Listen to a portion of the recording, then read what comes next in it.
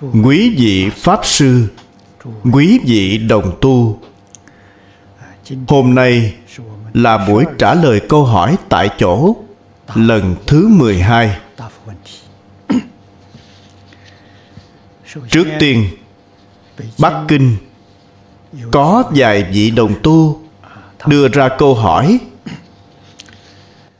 Câu hỏi đầu tiên, học tập đệ tử quy có nói đến vấn đề giữ chữ tín. Có người nói, chuyện lớn, ắt phải giữ chữ tín. Chuyện nhỏ có thể tùy ý, thì có như pháp không? Đối với tu hành của chúng ta, có tổn hại gì không? Vấn đề này, đây là thành thật, thành khẩn thành thật là tánh đức của chúng ta. chúng ta đang bồi dưỡng tánh đức của chúng ta. Không nói dối không nói ly gián không nói theo dệt không nói thô ác. Nhất định phải học tập. Chư phật bồ tát đời đời kiếp kiếp không nói dối. Vậy chúng ta tại sao phải lừa gạt người khác? Trong này đừng nên phân biệt tính lớn hay tính nhỏ? Chuyện nhỏ hơn đi chăng nữa đều phải giữ chữ tính. Nhưng trong đó có một điểm nhất định phải hiểu được. Giữ chữ tính phải hiểu được lợi ích chúng sanh. Trong kinh đức phật có nêu ví dụ. Người thợ săn đuổi theo con mồi đi tới ngã ba đường thì không thấy con mồi đâu. Nhìn thấy đối diện có một người đi tới. Thời săn liền hỏi người đó, Tôi vừa đuổi theo một con vật nhỏ qua đây, Anh có nhìn thấy không? Có nhìn thấy. Nó đi theo hướng nào? Đi theo hướng này. Người đó chỉ hướng kia. Người đó nói, nó đi theo hướng kia rồi. Đây chính là lừa thợ săn. Lừa thợ săn là chuyện tốt. Bạn xem cứu được mạng con vật đó Cũng giúp thợ săn không phải sát sanh. Cho nên điều này phải có trí tuệ. Lúc này bạn nói rất thành thật. Nó chạy theo hướng này. Thợ săn đương nhiên đuổi theo. Vậy thì con mồi nhất định sẽ bị thợ săn giết chết. Cho nên không phải là tính lớn hay tính nhỏ. Phải lợi ích chúng sanh. Điều này rất quan trọng. Nếu như nói dối với đại chúng bất lợi, nói dối cũng không sao. Lời nói dối này cứu độ hết thảy chúng sanh khổ nạn hiểu được nguyên tắc này thì bạn sẽ biết được. Cho nên từng điều giới luật đều có khai và trì phạm. Đây gọi là khai duyên, khai giới, không gọi là phá giới. Cho nên học phải có cố gắng. Mỗi điều giới luật đều có khai và trì phạm. Trong tình huống nào, nên có cách làm thế nào là linh hoạt, chứ không phải đã hình thành thì không thay đổi câu hỏi thứ hai. Rất nhiều cư sĩ phát nguyện hoàng dương phật pháp, đồng thời tích cực hộ trì phật pháp, bởi vì sinh sống ở khu vực khác nhau, hoàn cảnh sinh sống khác nhau. Trong lúc cùng nhau hợp tác hộ trì phật pháp, nếu hợp tác không tốt, sẽ sanh ra ảnh hưởng gì đối với chúng sanh? Đối với tu hành của bản thân, có ảnh hưởng gì không? Ảnh hưởng rất lớn. Phàm là hoàng pháp, hộ pháp thì nhất định phải hàng ngày nghe kinh. Hàng ngày niệm phật. Niệm phật, bạn mới có được sự gia trì của phật. Nghe kinh, bạn mới hiểu rõ đạo lý. Biết được làm như thế nào, phối hợp thế nào mới tốt. Quan trọng nhất là đạo tràng lục hòa chúng tôi giảng rất nhiều. Gần đây, trong lúc giảng phẩm bồ tát vấn minh cũng nói rất nhiều. Quan trọng nhất là hòa kính. Chúng ta chung sống hòa thuận với người khác. Điều kiện đầu tiên để chung sống hòa thuận là phải hạ thấp thân phận của chính mình. Tư thế của chúng ta rất cao. Bạn làm sao có thể chung sống hòa thuận với người khác được? Thánh hiền trung quốc xưa giảng về lễ. Tinh thần của lễ là hạ mình mà tôn người. bản thân mình phải khiêm tốn hạ thấp tôn trọng người khác. Đây là tinh thần của lễ. Không làm được điểm này thì bạn rất khó học lễ. Đây không những là thánh hiền trung quốc xưa dạy nhà phật cũng dạy bạn xem trong phổ hiền hạnh nguyện của nhà phật, dạy chúng ta, hằng thuận chúng sanh, tùy hỷ công đức. Nếu bạn không khiêm tốn, không hạ thấp, thì bạn làm sao có thể tùy hỷ? Cho nên phải hiểu được tôn trọng người khác. Mấy ngày trước, có một vị tín đồ đạo thiên chúa tới thăm tôi ông ấy cũng từng nghe tôi giảng kinh mân côi. Kinh mân côi là khóa tụng sớm tối của đạo thiên chúa, vô cùng quan trọng. Kinh tổng cộng có 15 điều. Điều đầu tiên là bạn dạy học theo sự khiêm hạ của bà maria. Đều là bắt đầu học từ chỗ này. Khiêm hạ là đối trị ngạo mạn, tập khí ngạo mạn con người đều có thực sự là ai ai cũng đều có là phiền não sanh ra đã có. Dùng phương pháp gì đối trị lễ kính. Đối với người lễ kính đối với người khiêm hạ dần dần đoạn trừ phiền não ngạo mạn tập khí ngạo mạn của chính mình. Tánh đức của bản thân chúng ta mới có thể hiển lộ ra được. Con người trên thế gian mỗi người đều có thể làm tốt công việc trên cương vị của mình. Ví dụ như trong cửa phật chúng ta hộ pháp thì làm tốt công việc hộ pháp hoàng pháp thì làm tốt công việc hoàng pháp. Bản thân làm tốt lại có thể phối hợp với người khác. Đoàn thể này sẽ hưng vượng gia đình cũng như vậy. Xã hội đất nước cũng như vậy chỉ cần bản thân làm tốt công việc của mình, phối hợp với mọi người. Một đất nước, một thế giới cũng giống như thân thể của chúng ta. Cho nên bạn thường tỉ mỉ nghĩ đến thân thể. Mỗi ngày sớm tối đều sẽ soi gương. Khi soi gương, bạn nghĩ tới thân thể này. Thân thể là một vũ trụ, thân thể là một đất nước. Mắt, tai, mũi, lưỡi là từng dân tộc khác nhau. Lục phủ ngũ tạng bên trong chính là tôn giáo khác nhau bạn xem, thân thể này, mắt lo nhìn. Tai lo nghe, mắt không can thiệp tai tai cũng không can thiệp mũi. Nhưng chúng đều có thể phối hợp, đều có thể hợp tác giúp đỡ lẫn nhau. Như vậy thì thân thể khỏe mạnh. Nếu như chúng ta vừa đánh nhau, lại không phối hợp, vậy thân thể này không phải sẽ bị bệnh sao? Sau khi bị bệnh, sẽ tổn hại sự khỏe mạnh của toàn bộ thân thể. Từ đó thấy được nếu chúng ta không phối hợp với chủng tộc, với tôn giáo, với những văn hóa khác, thì sẽ mang lại tai nạn cho cả trái đất này. Trái đất này là một thân thể. Bạn thường nhìn từ thân thể thì bạn sẽ khai mở trí tuệ. Vũ trụ là một thể. Trái đất cũng là một thể. Hết thảy chúng sanh đều là người một nhà cho nên nhất định phải tôn trọng lẫn nhau, kính yêu lẫn nhau, quan tâm lẫn nhau, hợp tác lẫn nhau. Xung đột mâu thuẫn sẽ được hóa giải. An định hòa bình mới có thể được thực hiện. Từ bản thân chúng ta dẫn đầu làm. Đừng nên hy vọng người khác, hy vọng người khác thì vĩnh viễn sẽ thất vọng. Bản thân nhất định phải làm được phối hợp với người khác vậy là đúng rồi. Người khác không phối hợp với chúng ta là do bản thân chúng ta làm chưa tốt. Phải nghiêm túc phản tỉnh kiểm điểm. Càng phải nỗ lực làm tốt hơn. Chúng ta phải học theo vua thuấn. Câu chuyện của vua thuấn mọi người đều biết. Bạn xem hoàn cảnh mà vua thuấn sống khi còn nhỏ mẹ của ông qua đời, cha lại cưới mẹ kế. Mẹ kế đối xử với ông không tốt. Mẹ kế sinh ra em trai, cả gia đình này, người cha nghe lời mẹ kế.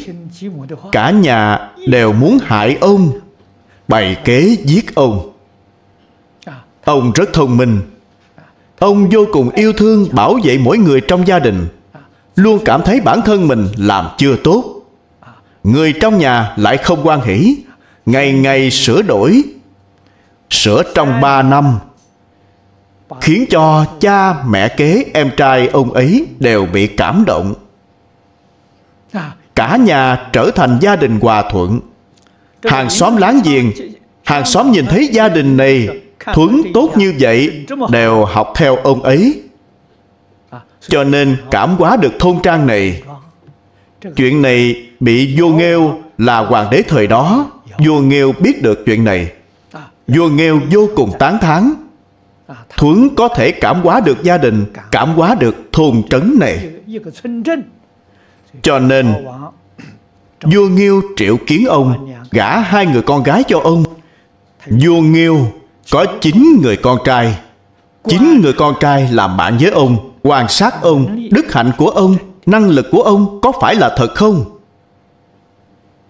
Tới sau này phát hiện ra là thật Không hề giả chút nào. Thực sự tu hành đại đức, Sau cùng vua Nghiêu nhường dương vị cho ông ấy.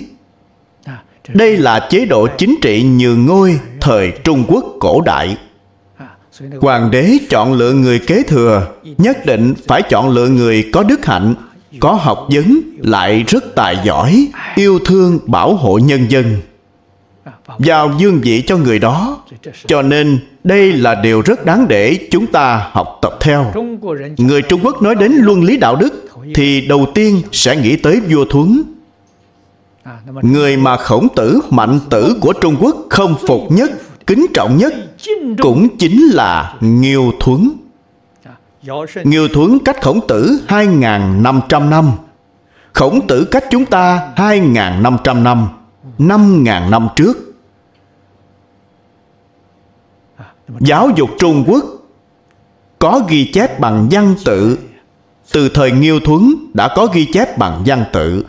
Những điều dạy là luân lý đạo đức Bản thân vua Nghiêu, vua Thuấn đã làm được luân lý đạo đức. Bản thân làm được, dạy người khác dễ dạy. Bản thân chưa làm được, dạy người khác, người ta không tin tưởng. Cho nên nhất định phải bắt đầu làm từ bản thân mình.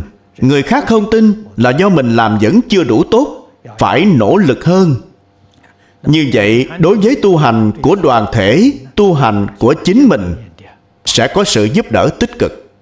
Nếu không thì mặc dù chúng ta rất nhiệt tình nhiệt tình là cảm tình. Cảm tình thường sẽ đánh mất lý trí. Không nghe kinh không hiểu kinh giáo. Kinh giáo là dạy chúng ta khai mở trí tuệ. Không nghe kinh thì trí tuệ của bạn sẽ ít. Trí tuệ ít mà dùng cảm tình thì thường sẽ sanh ra mâu thuẫn. Hộ pháp không thể phối hợp, không thể hòa thuận. Hoàng pháp cũng không thể hòa thuận. Như vậy sẽ phá hủy hình tượng phật giáo. Tội phá hoại hình tượng phật giáo sẽ đọa địa ngục a tỳ chúng ta không thể không biết. Bạn xem xã hội hiện nay. Biết bao người sanh ra hiểu lầm với phật giáo. Chúng ta không thể trách họ phải trách chính mình. Bản thân chúng ta làm không tốt. Bản thân chúng ta tuyên truyền chưa đủ khiến người khác sanh ra nhiều hiểu lầm như vậy. Tại gia xuất gia học phật rất nhiều. Chúng ta không thể can thiệp người khác bắt đầu làm từ chính mình, tôi phải làm tốt.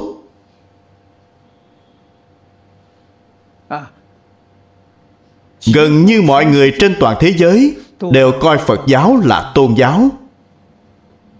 Chuyện này chúng ta cũng không thể phủ nhận. Bạn xem thử chùa chiền am đường, đích thực là tôn giáo. Chùa chiền am đường phật giáo vốn là giáo dục không phải tôn giáo. Phật giáo trở thành tôn giáo nhiều nhất không quá 300 năm. Chúng ta đọc sách Thời vua Càn Long vẫn chưa biến chất Vẫn là giáo dục. Bạn xem Những vị đế dương Những năm đầu thời nhà Thanh Đều lễ thỉnh Pháp Sư. Đạo trưởng có học giả của đạo giáo, nho giáo. Ba nhà nho thích đạo, gần như hàng ngày đều dạy học ở trong cung đình. Chúng ta hiện nay gọi là mở lớp dạy học. Hoàng đế dẫn theo hoàng tử, hoàng tôn, văn võ, bá quan của mình ngày ngày tới tiếp nhận giáo dục, nho thích đạo.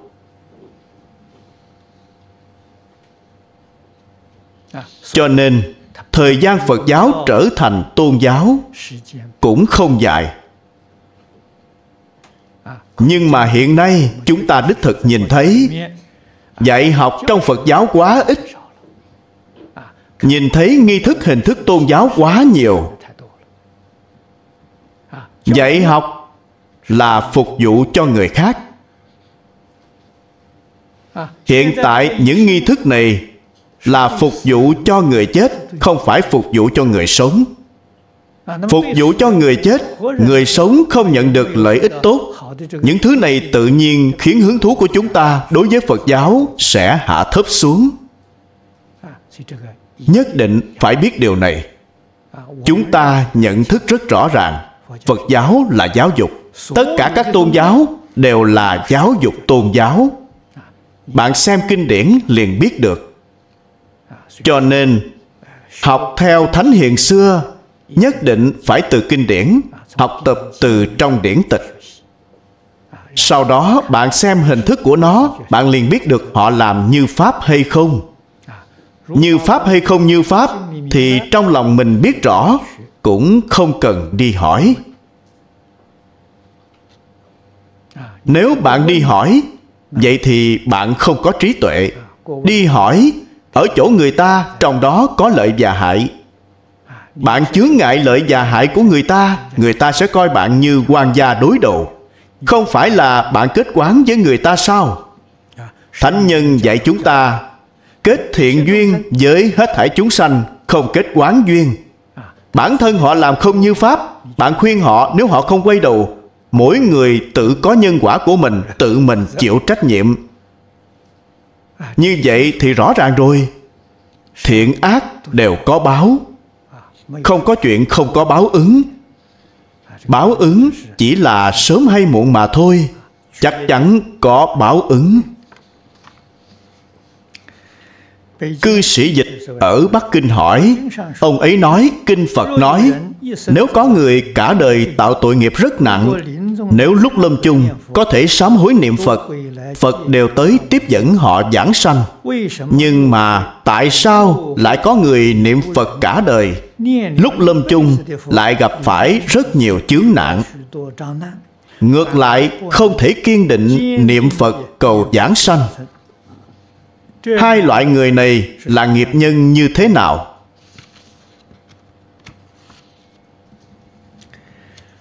Cả đời tạo tác tội nghiệp. Lâm chung niệm phật giảng sanh.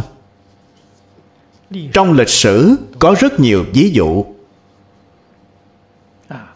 Tôi thấy đại khái ví dụ sớm nhất chính là vua a xà thế trong quán kinh. Bạn xem vua a xà thế. Nghe lời đề bà đạt đa. Đề bà đạt đa gây chia rẽ. Vua giết cha mình, đoạt dương vị. Cha của ông chết thì ông mới có thể kế thừa dương vị. Hại mẹ của ông ấy vốn muốn giết mẹ, kết quả là sau đó rất nhiều người khuyên ông ông đã từ bỏ giam lỏng mẹ mình.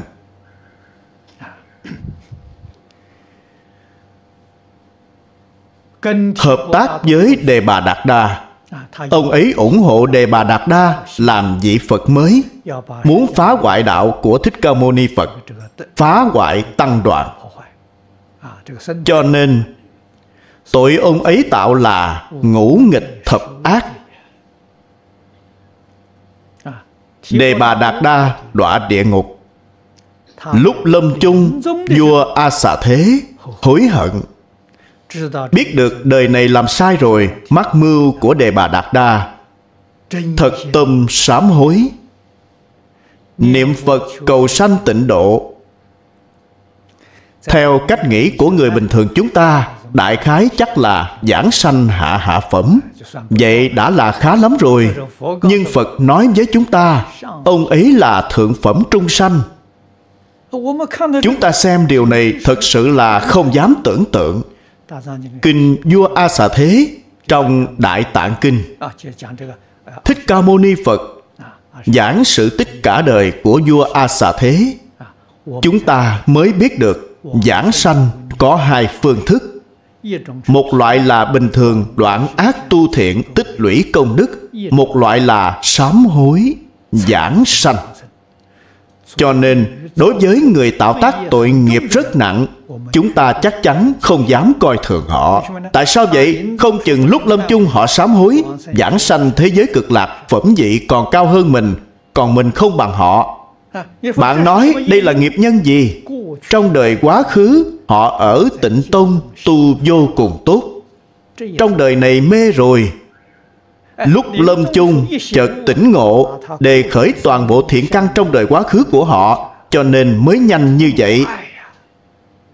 Sự sám hối của họ triệt để như vậy cho nên họ mới có đại thành tựu chúng ta có người đời này đều là trì giới niệm phật, ngược lại không thể giảng sanh. Đây là nguyên nhân gì? Nguyên nhân rất nhiều. Chính mình nghĩ thử liền biết được. Tính không thật, nửa tin nửa ngờ, nguyện không thiết. Lúc có, lúc không. Vậy thì bạn không được rồi tổ sư từ xưa đến nay thường nói với chúng ta, ba điều kiện giảng sanh tịnh độ là chân tính, nguyện thiết, thật thà, niệm phật. Hiện nay chúng ta niệm phật không thật thà. Tại sao lại nói không thật thà trong niệm phật xen tạp vọng tưởng? Vậy thì làm sao được? Công phu niệm phật của bạn đều bị vọng tưởng phá hoại. Không coi niệm phật giảng sanh là chuyện lớn bậc nhất trong đời này của mình. Ví dụ, nói bạn ở đây niệm phật. Có một người tới nói với bạn, hiện tại bên ngoài có một vụ làm ăn lớn, cần mau chóng đi làm, có thể kiếm được hai, ba triệu đô la. Bạn đi ngay lập tức, không niệm phật nữa. Vậy thì vẫn được sao?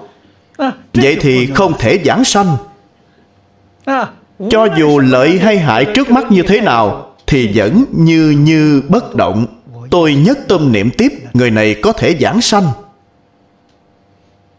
Cho nên, nghiệp nhân khiến niệm phật không thể giảng sanh rất nhiều.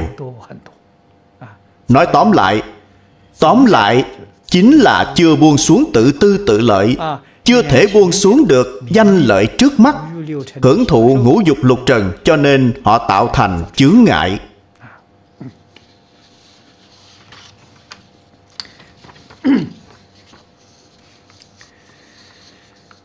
Đây là vị đồng tu ở bắc kinh. Anh ấy nói, anh trai nghiện ma túy. Con và cha mẹ đều lo lắng cho anh ấy. Chúng con phải làm thế nào mới có thể giúp anh trai làm lại cuộc đời, mới có thể thực sự giúp anh ấy nhận được lợi ích? Bạn bè nói, phật giáo là giáo dục. Đúng là vậy nhưng mà họ nói hôm nay tới chỗ này thắp nhang, ngày mai tới chỗ kia phóng sanh. Làm những việc này liệu có chút mê tín không? Con có nhiều phiền não và ưu lo như vậy, làm thế nào mới có thể giúp tâm của con rộng mở hơn, thanh tịnh hơn? Phương pháp có hiệu quả nhất là hàng ngày bạn đọc kinh, hàng ngày nghe kinh những vấn đề này của bạn toàn bộ đều không còn nữa. Bạn có trí tuệ gặp những vấn đề này thì bạn liền biết được giải quyết như thế nào làm thế nào để giúp đỡ người khác.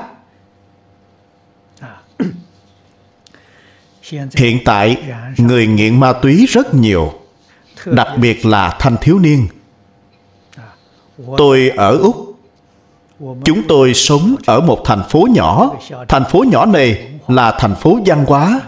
Người không nhiều, cư dân chỉ có 80.000 người. Có một phần tư người làm công việc giáo dục. Nhưng mà trong thành phố nhỏ này, Thanh thiếu niên nghiện hút, Phạm tội, Không ngờ lại có tới 8.000 người. 8.000 người chiếm một phần 10 dân số. Cho nên, thị trưởng vô cùng từ bi. Thị trưởng là người tốt. Chính quyền thành phố đã lập một trung tâm cai nghiện. Đem kế hoạch này Nói với tôi. Hy vọng chúng tôi giúp đỡ họ. Chúng tôi thực sự dốc sức giúp đỡ họ Làm một trung tâm cai nghiện.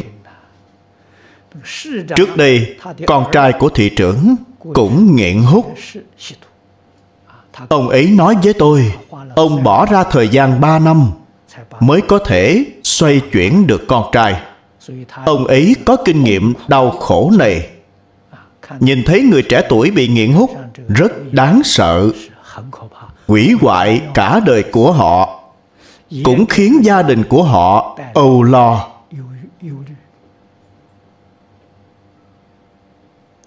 Vấn đề này Trong xã hội hiện nay, Phương Đông và phương Tây đều tương đối phổ biến.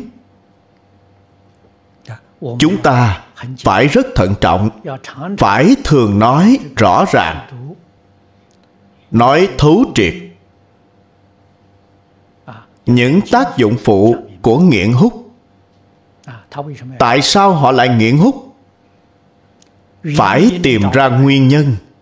Loại bỏ từ nguyên nhân Thì người này mới có thể quay đầu được. Hút thuốc là tìm sự kích thích. Tìm sự kích thích nhất định là đời sống tinh thần. Không có chỗ dựa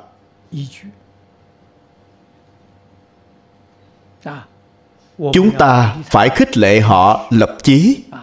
Cuộc đời trên thế gian này quan trọng nhất là phải có mục tiêu, phải có phương hướng. Có mục tiêu, có phương hướng thì họ sẽ rất cố gắng, sẽ tinh tấn, sẽ rất tích cực, không đến mức xa sút. Nếu như con người sống ở đời không có mục tiêu, không có phương hướng, không biết tại sao phải sống, thì rất dễ bị mê hoặc.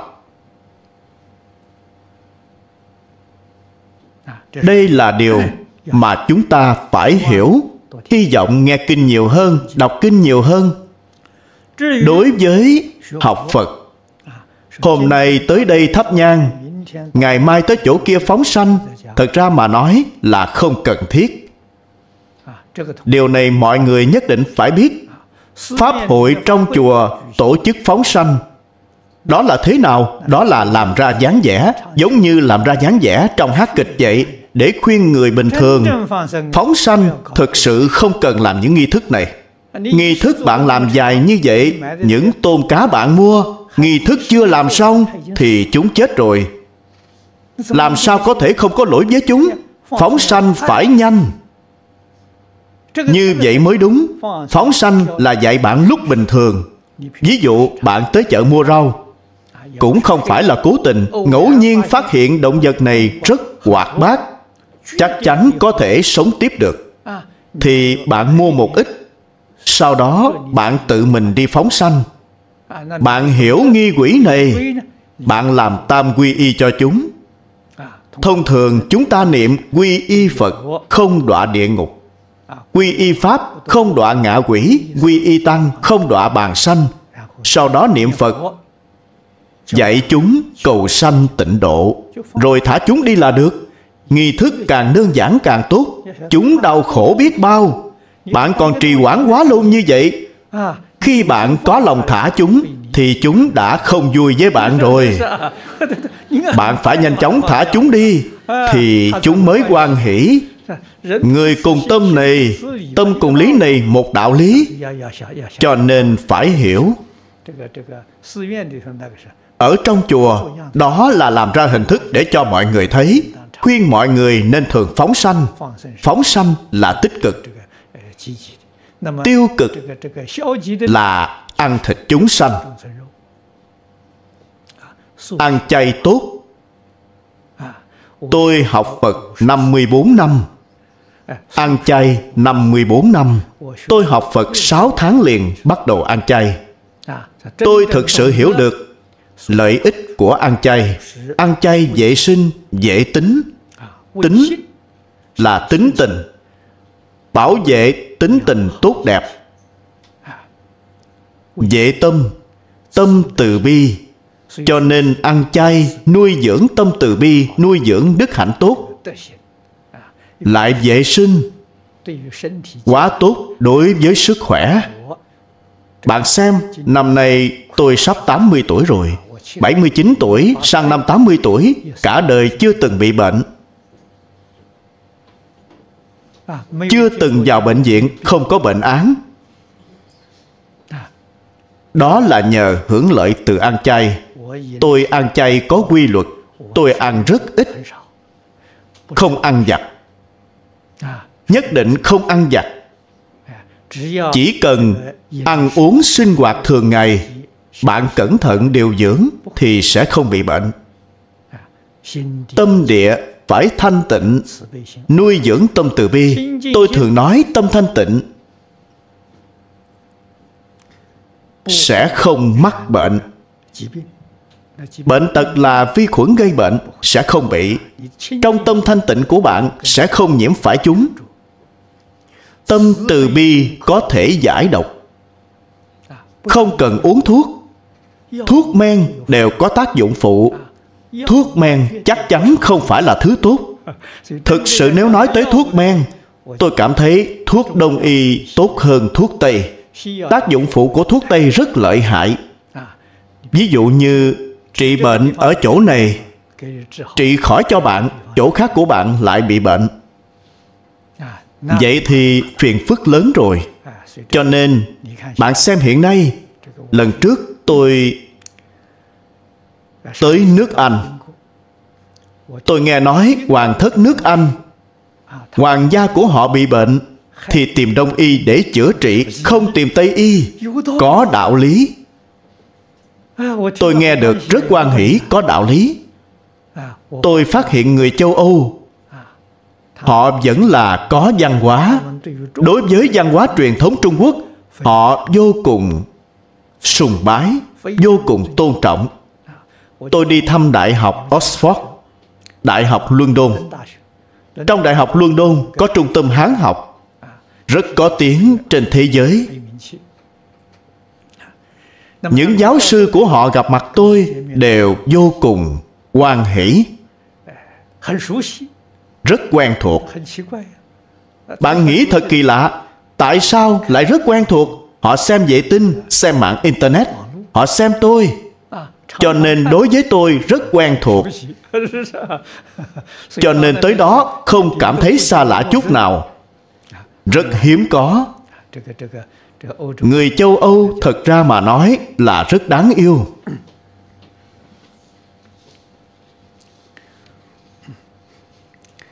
Tiếp theo là câu hỏi của một vị cư sĩ ở Bắc Kinh.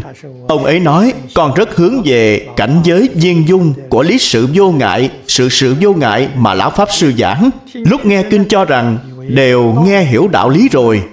Nhưng trong quá trình làm việc, vừa gặp phải nghịch cảnh, thì phiền não chướng ngại lại xuất hiện.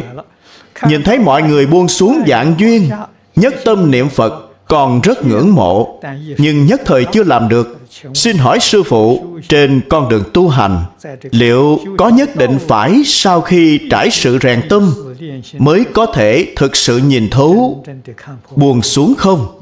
Không sai. Tu hành chính là trải sự rèn tâm.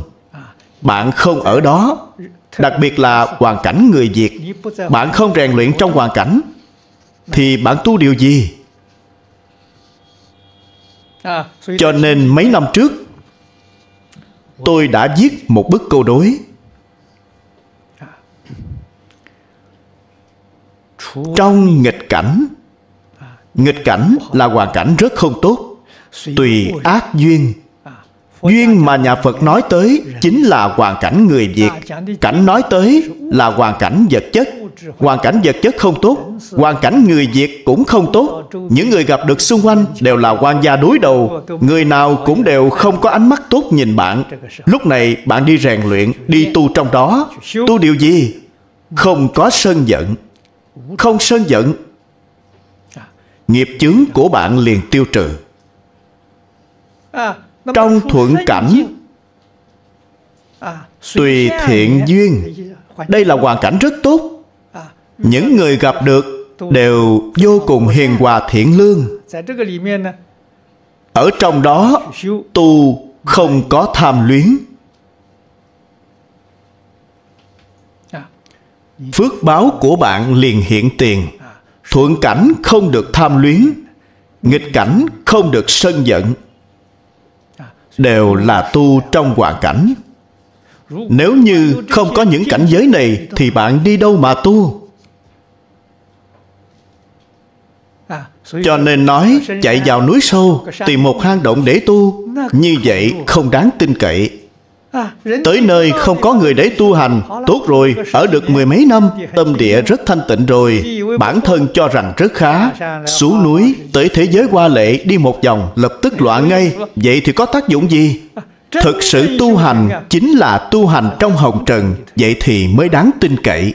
Nhưng mà tu trong hồng trần không dễ dàng lúc lên lúc xuống. Lúc lên rất cao, lúc xuống cũng rất nhanh.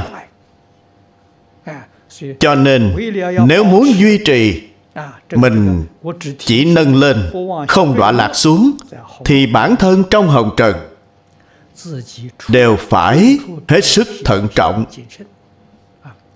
Ngày ngày đọc kinh. Ngày ngày đọc kinh, ngày ngày tiếp nhận lời dạy bảo của phật bồ tát có vậy, bạn mới không đến mức mất phương hướng. Ba ngày không đọc kinh, bảo đảm bạn sẽ đọa lạc.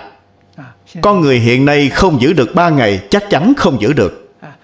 Tận lực giảm bớt mê hoặc.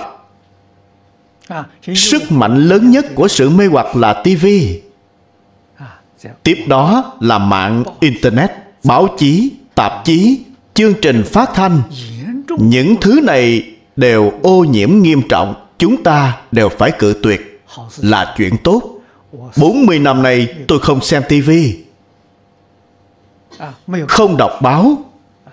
Cho nên tôi không biết gì cả.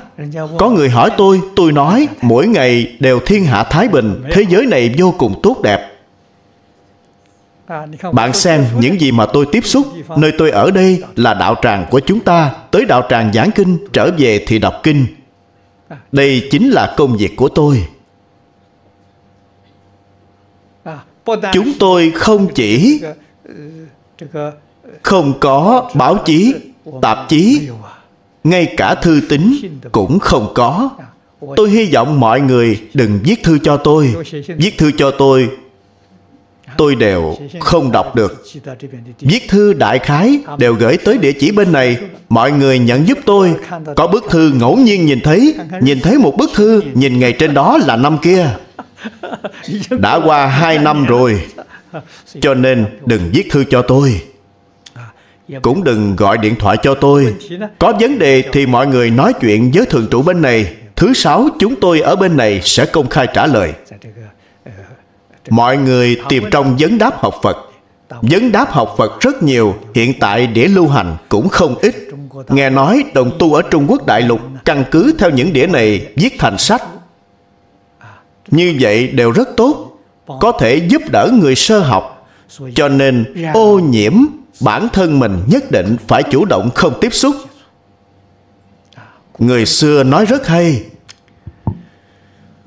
biết nhiều chuyện thì nhiều phiền não quen nhiều người thì lắm thị phi. Vẫn nên ít tiếp xúc với người thì thị phi ít. Ít nghe ngóng những chuyện này thì bạn sẽ ít phiền não. Như vậy chúng ta mới có thể được tâm thanh tịnh. Điều này quan trọng hơn bất cứ thứ gì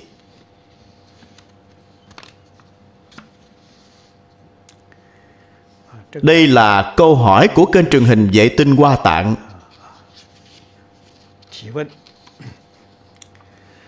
Đệ tử thường đi thiền viện địa tạng tham gia pháp hội.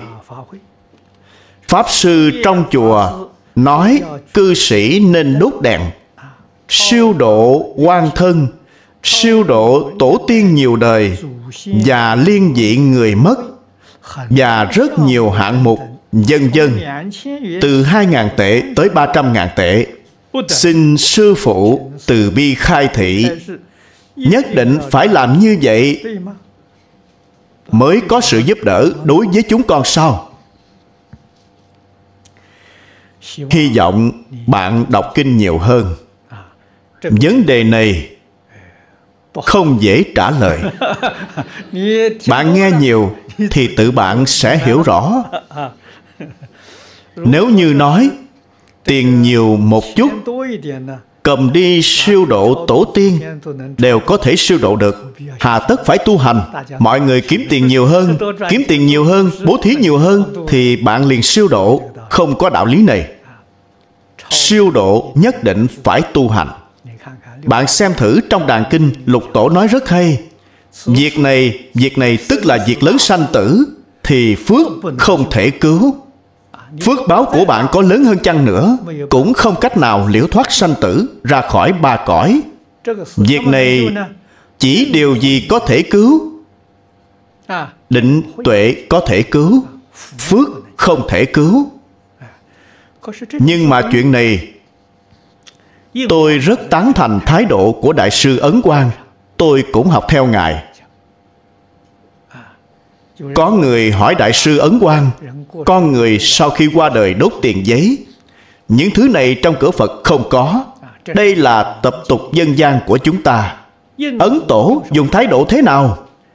Không tán thành cũng không phản đối. Không tán thành là do trong cửa phật không có, không phản đối là do phong tục tập quán thế gian có. Mọi người đều biết thế gian này là lục đạo con người sau khi chết đi nếu họ lại đến nhân gian nữa bạn đốt tiền giấy thì họ không dùng đến. Họ đến cõi trời cũng không dùng đến. đến cõi địa ngục cõi súc sanh cũng không dùng đến. Chỉ có một cõi cõi quỷ có dùng. nếu như họ đọa vào cõi quỷ bạn bảo họ không đốt tiền giấy thì bạn đã chặn con đường tiền tài của người khác bạn có lỗi lầm. Cho nên đối với chuyện này, ấn tổ không tán thành, cũng không phản đối. Thái độ này rất đúng trọng tâm. Tôi cảm thấy chúng ta nên học theo.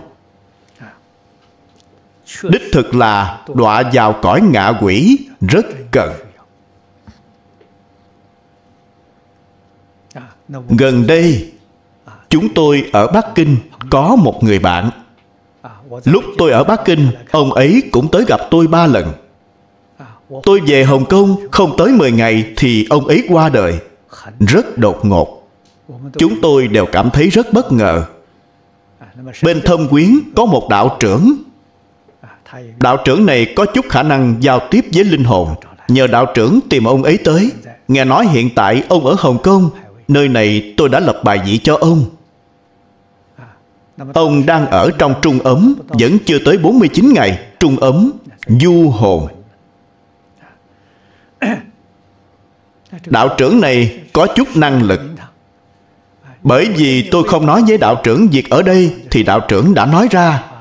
Đạo trưởng nói Pháp Sư Tịnh Không đã lập bài vị cho ông ấy ở đạo tràng, Hơn nữa còn lập bài vị ở phòng thu. Điều này khiến tôi cảm thấy rất kinh ngạc. Chuyện lập bài vị ở phòng thu không có ai biết. Đạo trưởng nói, Người bạn này hiện tại cần tiền. Hy vọng con gái của ông ấy Đốt cho ông ấy ít tiền giấy. Ông ấy thích hút tẩu thuốc. Tẩu thuốc cần có thuốc lá sợi. Ông ấy nói không có thuốc lá sợi. Hy vọng con gái đốt ít thuốc lá sợi cho ông. Nói rất giống. Trước đây, ông ấy đã quen biết tôi rất nhiều năm. Ông ấy đối với Phật giáo nửa tin nửa ngờ. Hiện tại biết rồi, Hối hận, đã muộn. Tôi nói với vị đạo trưởng này, Tôi nói đạo trưởng, Truyền tin này cho ông ấy, Vẫn còn kịp.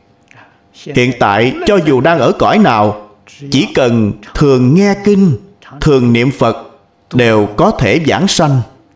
Cõi quỷ giảng sanh rất nhiều. Năm kia lúc chúng tôi ở trong nhà hiểu hút Bạn xem cõi quỷ giảng sanh cũng rất nhiều. Cho nên chỉ cần nghe kinh Cơ duyên nghe kinh không nhiều. Sau khi nắm được Đừng buông lơi. Nghe kinh, niệm Phật, cầu sanh tịnh độ. Chúng sanh ở cõi nào cũng đều có phận Đây là sự đại từ đại bi của Phật. Câu hỏi tiếp theo. Lúc đệ tử lễ Phật sám hối Có rất nhiều vọng tưởng. Lúc đọc tụng kinh điển cũng giống vậy. Không biết làm thế nào Mới không còn có vọng tưởng. Đệ tử học Phật không tới hai năm. Xin sư phụ từ bi khai thị bạn học Phật 2 năm vọng tưởng nhiều như vậy là hiện tượng rất bình thường. Tới khi nào vọng tưởng của bạn mới ít đi Đại khái là học Phật 10 năm, 20 năm. Thời gian của bạn chưa đủ. Chuyện này rất bình thường. Đừng để trong lòng. Đừng lo lắng vì vọng tưởng. Lo lắng vì vọng tưởng Thì vọng tưởng của bạn càng nhiều. Lúc vọng tưởng tới Thì căn bản không để ý tới chúng. Vọng tưởng liền không còn nữa bạn phải tập trung tinh thần, ý chí vào niệm phật, tập trung vào đọc tụng. Trong lúc khởi vọng tưởng, căn bản không để ý tới. Vọng tưởng của bạn mỗi năm sẽ giảm đi. Cho nên khi công phu đắc lực, đại khái thường phải 3 năm tới 5 năm. Một tiếng đồng hồ vẫn còn 4 năm lần. Trong một tiếng đồng hồ, không có một vọng tưởng nào ít nhất cần 10 năm công phu. Cho nên mọi người phải rất nghiêm túc cố gắng.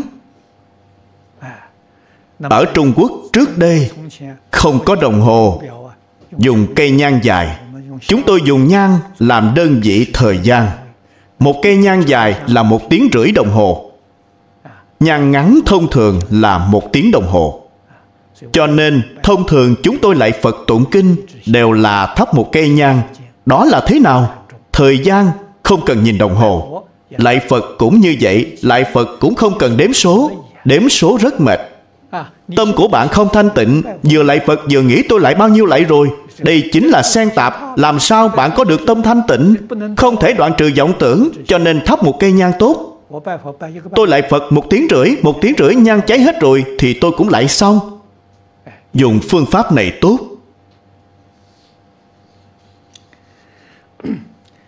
Người tiếp theo hỏi, Đệ tử có một người bạn, Cô ấy tự xưng bản thân là người phát ngôn cho thần minh, Thay người khác giải quyết nghi hoặc, Đồng thời có tác pháp. Mà đệ tử hiện nay do thần minh dẫn dắt Mà dần dần tiến vào cửa Phật.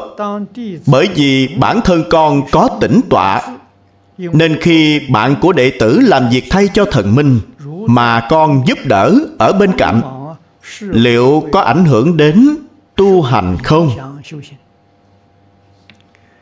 Đương nhiên có ảnh hưởng. Thần minh dẫn dắt bạn học phật. Vị thần minh này cũng rất khá, cũng rất thiện. Hiện nay, thần minh thiện, đích thực rất nhiều. Bất thiện cũng có. Bạn phải thận trọng. Phàm là tiếp xúc với thần minh nhất định phải giữ vững một nguyên tắc.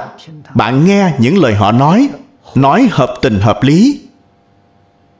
Có thể làm tham khảo, nói không hợp tình hợp lý. Yêu cầu bạn làm chuyện không như pháp, lập tức từ chối. Từ đó có thể không qua lại nữa. Đây là đúng đắn. Con người không được bị quỷ thần lừa gạt. Không được bị quỷ thần dắt mũi đi. Nếu bị, vậy thì bạn sai rồi. Bạn xem phu tử, kính quỷ thần mà tránh xa. Tôn trọng quỷ thần, đây là đúng. Bởi vì họ cũng là chúng sanh. Đối với hết thảy chúng sanh đều phải tôn trọng trong mười nguyện của Phổ Hiền Bồ Tát Nguyện đầu tiên dạy chúng ta lễ kính chư Phật. Đối với hết thảy chúng sanh tuyệt đối không phân biệt Cung kính, lễ kính bình đẳng như nhau. Nhưng xưng tán thì có khác biệt. Xưng tán như lai. Tại sao không nói chư phật mà nói như lai? Như lai và chư phật có khác biệt. Chư phật là từ hình tướng mà nói như lai là từ đức hạnh mà nói tức là nói họ không có đức hạnh thì không tán thán họ. Họ có đức hạnh thì chúng ta nên tán thán họ. Cho nên lễ kính và xưng tán có khác biệt. Tức là đối với quỷ thần chúng ta cung kính nhưng chúng ta không tán thán. Tán thán thì thiện thần cũng ít tán thán. Tại sao vậy? Dễ làm người khác hiểu lầm mê tín. Vậy thì bạn sai rồi cho nên không tán thán quỷ thần.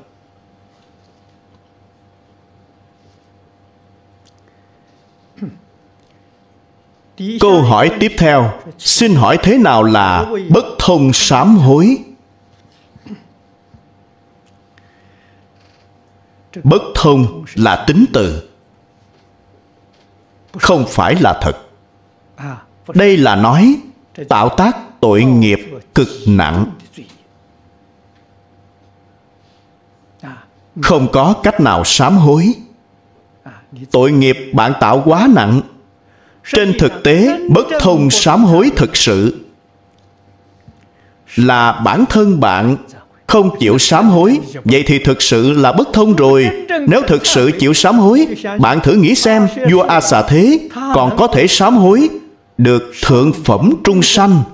Thật quá giỏi. Làm gì có bất thông sám hối? Vấn đề chính là bản thân có chịu sám hối hay không? Bản thân có thật lòng sám hối hay không? Mấu chốt ở chỗ này. Bản thân thật lòng chịu sám hối không có chuyện bất thông. Trong phật pháp đích thực căn bản không có hai chữ bất thông. phật pháp là viên thông. Bạn xem chương 25 viên thông trong kinh lăng nghiêm. Làm gì có bất thông? Không có bất thông. Phàm là nói bất thông đều là đặc biệt nhấn mạnh cảnh báo. Những tội nghiệp rất nặng bạn không được làm. Nếu làm thì thực sự rất phiền phức. Nó có ý khuyên nhủ nhiều hơn. Đây không phải là sự thật. Chúng ta phải hiểu rõ điều này. Ví dụ, địa ngục. Địa ngục biến tướng đồ vẽ ra rồi. Đây cũng là quỷ thần tới nhờ giả. Thành hoàng tới tìm tìm rất nhiều lần. Lần đầu tới nhờ nhờ tôi giúp đỡ khôi phục miếu thành hoàng. Tôi nói chuyện này rất khó, bởi vì chính sách của trung quốc không cho phép. Chính sách của trung quốc, nếu đạo tràng phật giáo trước đây có từ chùa, mặc dù toàn bộ đã bị hủy hoại, bị tháo dỡ bạn tìm ra được chứng cứ. Chính phủ đều có thể đồng ý cho bạn khôi phục lại. Nhưng miếu thành hoàng thì không được. Miếu thần thì chính sách không cho phép. Đây là muốn giúp mà không giúp được. Thành hoàng cũng hiểu được. Cũng có thể thông cảm. Ông ấy nói, nếu như miếu thành hoàng không thể khôi phục, nhưng điện diêm dương rất quan trọng. Điện Diêm Dương, tôi rất rõ ràng. Lúc còn nhỏ, Mẹ đưa tôi tới miếu thành hoàng thắp nhang. Tôi tới Điện Diêm Dương rất nhiều lần. Tôi nhìn thấy rất quen thuộc. Đó là thế nào? Nhân quả báo ứng. Công đức lớn nhất của miếu thành hoàng Là dạy người thiện có thiện báo, Ác có ác báo.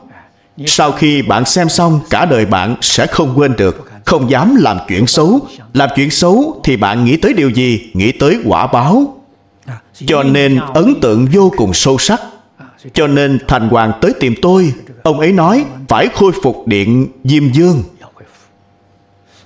Tôi nói thế này đi, trong đạo tràng phật giáo của chúng tôi, làm tranh điêu khắc. Dùng phương pháp điêu khắc để điêu khắc thập điện diêm dương, khảm lên tường ở trong chùa. Thành hoàng nghĩ ngợi một lát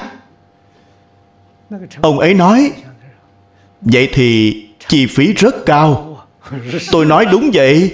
Ông ấy nói, chi bằng vẽ ra. Ông ấy vừa gợi ý như vậy, Vẽ thì thật tốt quá, Tiện lợi hơn nhiều. Nhưng tôi nói, Vẽ thì không tìm được bản gốc. Ông ấy nói với tôi là núi Cửu Hoa có, Cho nên tôi phái người tới núi Cửu Hoa. Núi Cửu Hoa thật sự có. Chúng tôi chụp ảnh ở núi Cửu Hoa Rồi mang ảnh về. Nó vốn không lớn, Chỉ có 10 bức. Tương đương với bức tranh trong Pháp hội Thủy Lục của nhà Phật Chỉ có 10 tấm. Đương nhiên 10 tấm đó Đối với trạng huống của địa ngục Nghiệp nhân quả báo Không thể bằng Điện Diêm Dương trước đây Trong miếu thành hoàng Đó đều là dùng đất nặng Nặng vô cùng đẹp. Sinh động như thật. Bạn xem xong thực sự sẽ cảm động cho nên chúng tôi mới nghĩ đến vẽ. Vẽ thì tôi đi tìm một quả sĩ. Cũng là bạn học của tôi. Giang Vật Tử ở Đài Loan. Tôi đi tìm ông ấy. Vừa nói, ông ấy nhận lời ngay. Một năm liền vẽ thành công. Bức tranh địa ngục biến tướng đồ. Hình như cao 66cm Cao như thế này. Dài 60 mét. Đại khái cũng gần bằng đi một vòng chỗ này của chúng ta. Phải hết một vòng Mới có thể để hết được. Vẽ vô cùng đẹp. Ông ấy dựa theo Ngọc Lịch Bảo Sao của đạo giáo để vẽ. Cuốn sách Ngọc Lịch Bảo Sao này lưu hành rất rộng. Trong đó đều là nói về nhân quả báo ứng. Dựa vào cuốn sách này để vẽ, Sau khi vẽ xong, Tôi xem rất quan hỷ. Cần phải giải thích. Nếu không có người giảng giải, Thì bức tranh này rất khó mà xem hiểu được. Cho nên, Tôi tìm một số người tới chú giải cho bức tranh. Đồng thời, bèn nghĩ tới, Đây là của đạo giáo. Vậy thì trong kinh điển, Thích Ca Mâu Ni Phật nhất định cũng nói đến địa ngục. Thông thường, chúng ta chỉ thấy trong kinh Địa Tạng Bồ Tát Bổn Nguyện trong kinh Lăng Nghiêm cũng giảng tới thất thú, Mà địa ngục gần như chỉ chiếm một phần hai trong kinh văn nói về thất thú, Nói rất chi tiết. Cho nên tôi tìm vài bạn đồng tu tra Đại Tạng Kinh. Họ tra một tuần đến hai tuần. Tìm thấy trong Tạng Kinh Có 25 loại kinh luận Mà Phật giảng rất chi tiết về địa ngục. Chúng tôi sao chép lại toàn bộ nội dung có liên quan đến địa ngục trong 25 loại kinh luận. Hiện tại in thành một quyển sách đã xuất bản rồi. Tôi đặt tên cho quyển sách này là Chư Kinh Phật Thuyết Địa Ngục Tập Yếu. Bạn xem quyển sách này, những gì nói về địa ngục trong Đại Tạng Kinh đều nằm trong đó. Hy vọng tương lai có người lại vẽ một bức tranh dựa theo quyển này. Vậy thì vô cùng tốt. Cho nên đây là vô cùng có giá trị. Hiện tại chúng ta in tranh ra, thành hoàng yêu cầu. Ông ấy nói, thưa pháp sư, hy vọng mỗi đạo tràng phật giáo trên toàn thế giới đều thờ một bức.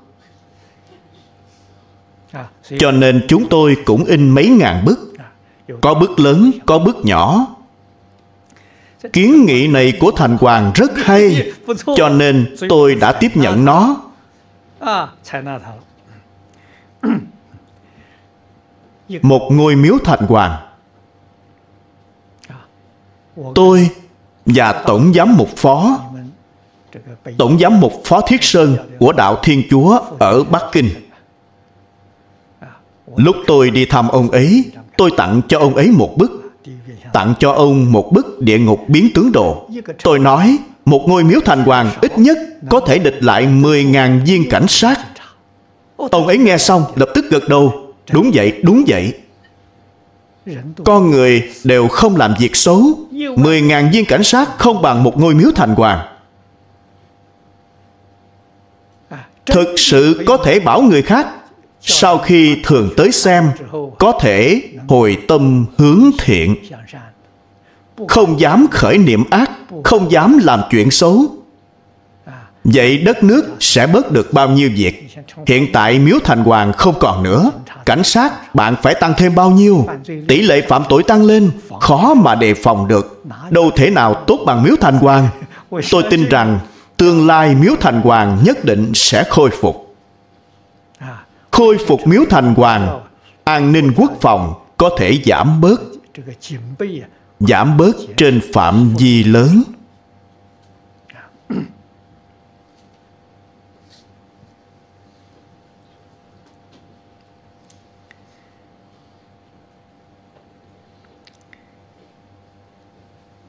Câu hỏi tiếp theo có liên quan đến phẩm thọ ký trong kinh Diệu Pháp Liên Hoa của Đại Thừa. Thế Tôn thọ ký cho nhiều vị Bồ Tát, đời vị lai được thành Phật. Ví dụ như Mahaka Diếp Bồ Tát, vào đời vị lai hiệu là Quang Minh Như Lai. Nước tên là Quang Đức, kiếp tên là Đại Trang Nghiêm. Phật thọ 20 tiểu kiếp Xin hỏi, Thế nào là Phật thọ? Sau khi thành Phật, Không phải đã đạt đến cảnh giới bất sanh bất diệt sao? Sao lại còn có thọ mạng? Nếu như có hạn chế thời gian, Vậy sau khi giảng sanh thế giới cực lạc, Liệu có phải sẽ lại đọa vào sáu nẻo luân hồi không? Xin Pháp Sư từ bi khai thị Phàm là nói tới thọ mạng của Phật đều là nói tới ứng hóa thân của phật. Phải biết đức phật giảng rất rõ ràng trong kinh đại thừa. Pháp thân của phật không có thọ mạng. Pháp thân của mọi người chúng ta đều giống vậy đều là bất sanh bất diệt. Pháp thân không có thọ mạng. Sau khi thành phật có báo thân báo thân có sanh vô diệt. Nơi báo thân phật trụ gọi là cõi. Thật báo trang nghiêm. Bạn xem, nơi chúng ta ở gọi là cõi phàm thánh đồng cư. Báo thân không có diệt. Có chứng đắc, sau khi chứng đắc, vĩnh viễn bất diệt. Nhưng ứng quá thân có sanh diệt. Ứng quá thân ngài tới thế giới khác. Trong mười pháp giới, tới sáu cõi nên dùng thân gì để độ thì ngài hiện thân đó. Thọ mạng của ngài thông thường đều giống với thọ mạng của chúng sanh nơi đó. Thích Ca Mâu Ni Phật đã thị hiện cho chúng ta. Người Trung Quốc chúng ta tính là 80 tuổi. Người nước ngoài tính tuổi đúng là 79 Khổng lão phu tử trụ thế 83 tuổi, Có thọ mạng. Thọ mạng này là ứng thân.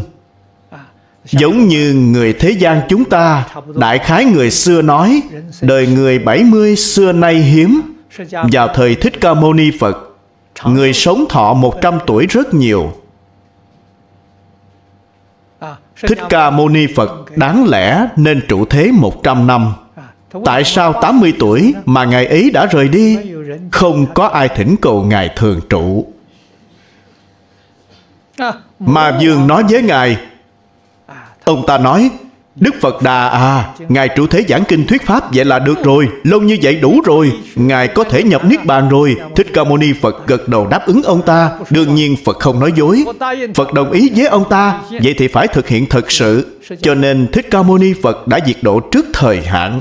Điều này cho thấy, Mọi người không thỉnh Ngài trụ thế Thì Ngài sẽ rời đi sớm, Ma thỉnh Ngài rời đi sớm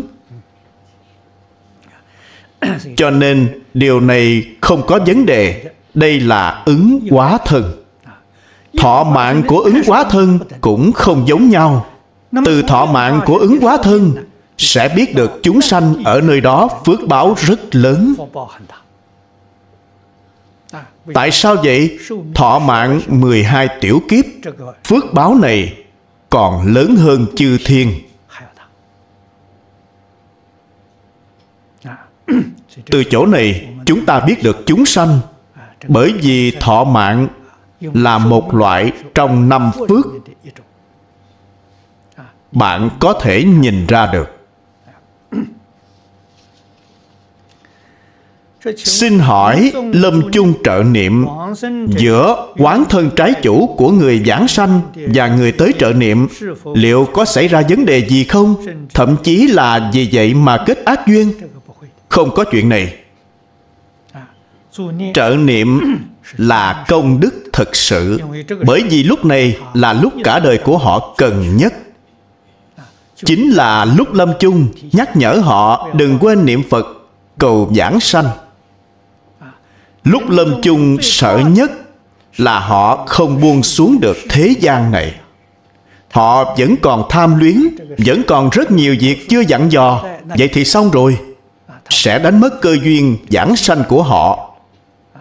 Cho nên lúc này nhất định phải giúp đỡ họ, nhắc nhở họ, buông xuống dạng duyên. Nhất tâm niệm phật cầu sanh tịnh độ. Cho nên lúc trợ niệm, không cần làm bất kỳ khai thị gì. Bất kỳ khai thị gì đều là xen tạp, không có lợi ích đối với họ. Chỉ cần một câu phật hiệu, lúc nào khai thị cho họ họ nói, nhìn thấy người nào đó tới, hoặc là nhìn thấy vị bồ tát nào tới, lúc này bạn phải đặc biệt nhắc nhở họ, đừng để ý đến họ, không thể đi cùng họ. A di đà phật tới mới có thể đi theo ngài ấy. Không phải a di đà phật thì không được đi theo họ. Quan gia trái chủ sẽ biến hiện thành hình tướng của phật bồ tát khác, tới lừa họ. Lúc này thần hộ pháp không can thiệp. Nếu họ biến thành A-di-đà Phật, Quán âm Bồ Tát tới lừa họ, Thì thần hộ Pháp sẽ can thiệp. Tại sao vậy? Đây là bổn tôn. Họ biến hiện những gì khác. Đó là giả mạo. Giả mạo không phải bổn tôn. Chuyện này thần hộ Pháp có thể tha thứ cho họ. Nếu như biến thành bổn tôn, Thì thần hộ Pháp can thiệp, Nên họ không dám biến. Cho nên trong lòng mình nhất định phải có tính tâm a di đà phật tới tuyệt đối là thật. Các vị phật khác tới đều là yêu ma quỷ quái, đều là giả, không phải là thật. Bạn có nhận thức này thì bạn sẽ không sai lầm. Cho nên với người trợ niệm, người trợ niệm nhất định được phật bồ tát gia trị sẽ không dướng phải những chuyện này, trừ khi tâm người trợ niệm là tà không chánh. Vậy thì bạn sẽ bị quỷ thần quấy nhiễu nếu tâm địa bạn thanh tịnh quang minh chánh đại quỷ thần nhìn thấy cũng tôn trọng bạn cũng sẽ không gây phiền phức cho bạn.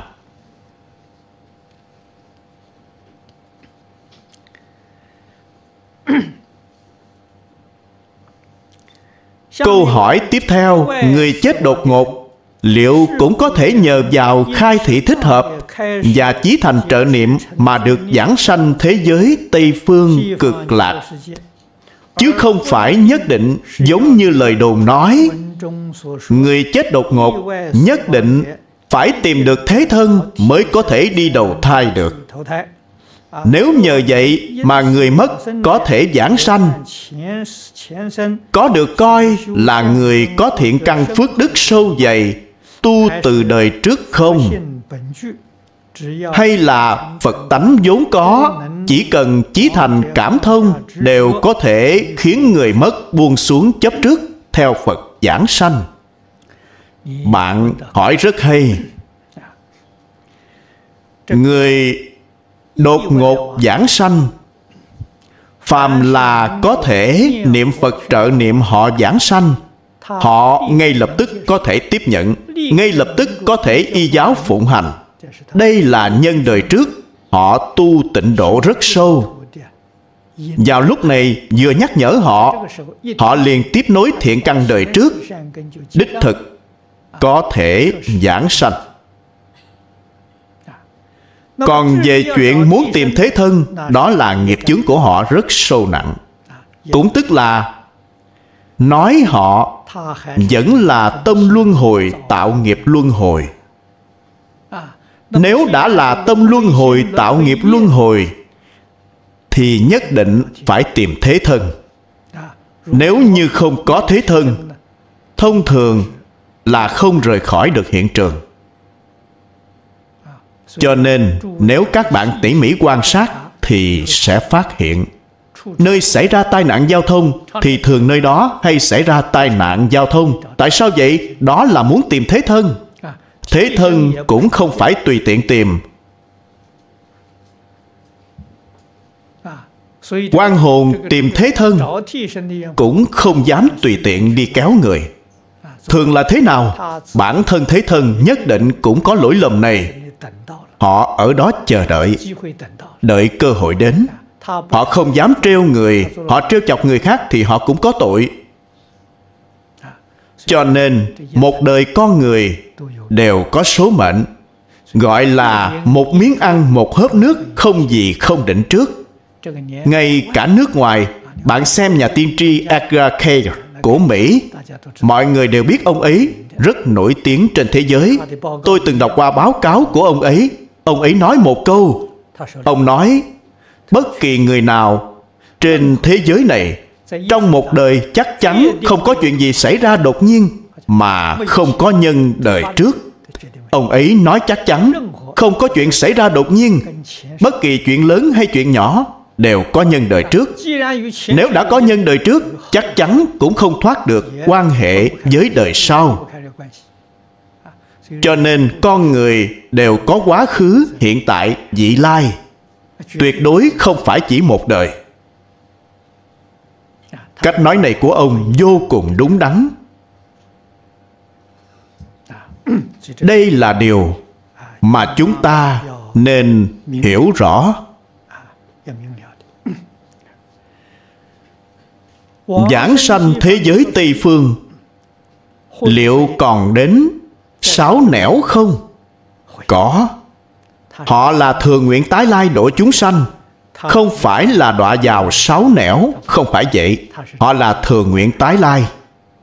Tới thế giới này, Giống như quán âm Bồ Tát vậy, Nên dùng thân gì để độ Thì Ngài liền hiện thân đó. Cho nên, Chư Phật Bồ Tát Không có thân nhất định. Thân là chuyện như thế nào Là tùy tâm nguyện chúng sanh. Chúng sanh quan hỷ thân nào Thì các ngài liền hiện thân đó. Như vậy mới có thể thuận tiện giáo hóa chúng sanh. Cho nên chúng sanh ưa thích Phật Thì các ngài hiện thân Phật. Chúng sanh ưa thích Bồ Tát Thì các ngài hiện thân Bồ Tát. Chúng sanh ưa thích Thượng Đế Thì các ngài hiện thân Thượng Đế. Chúng sanh ưa thích Giêsu Thì các ngài hiện thân Giêsu Toàn bộ đều là Phật Bồ Tát biến hiện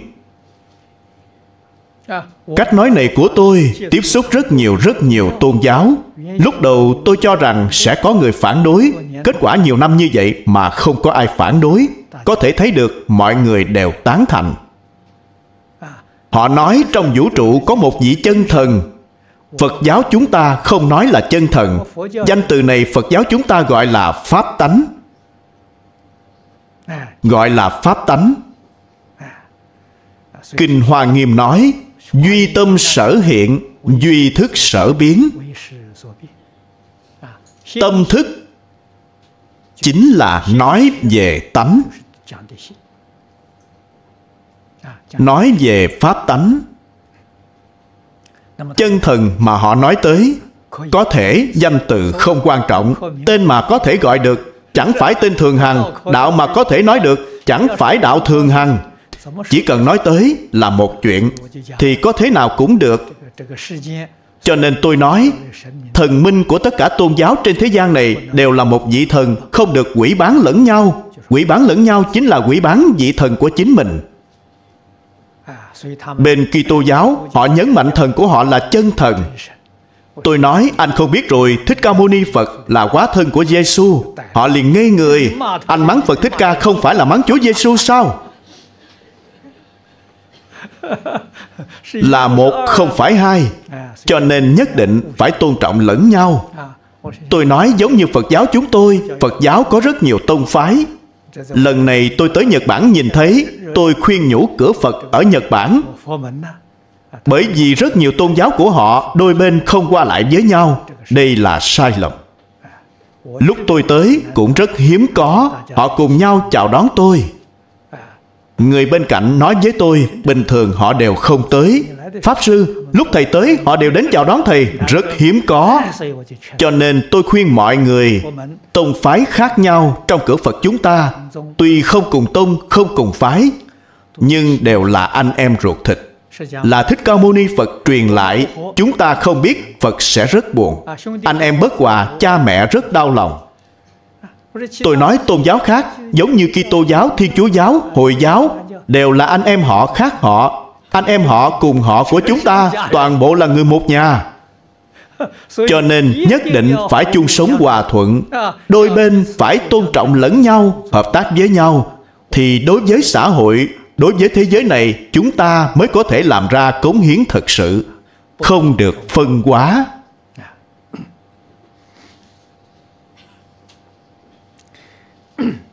Lý niệm này, chúng tôi được lão hòa thượng Nakamura Koryu của Nhật Bản. Năm nay ông 101 tuổi. Đối với tôi rất tốt. Ông nói với tôi, người sáng lập tôn giáo trên toàn thế giới đều là quá thân của quán âm bồ tát. Quán âm bồ tát nên dùng thân gì để độ thì hiện thân đó. Tính chúng bên dưới ông nói với tôi, họ nói, pháp sư tịnh không, lão hòa thượng của chúng tôi cả đời chưa từng nói qua lời này. Hôm nay lúc thầy tới, cách nói này của hòa thượng là lần đầu tiên chúng tôi nghe được. Lão hòa thượng có trí tuệ.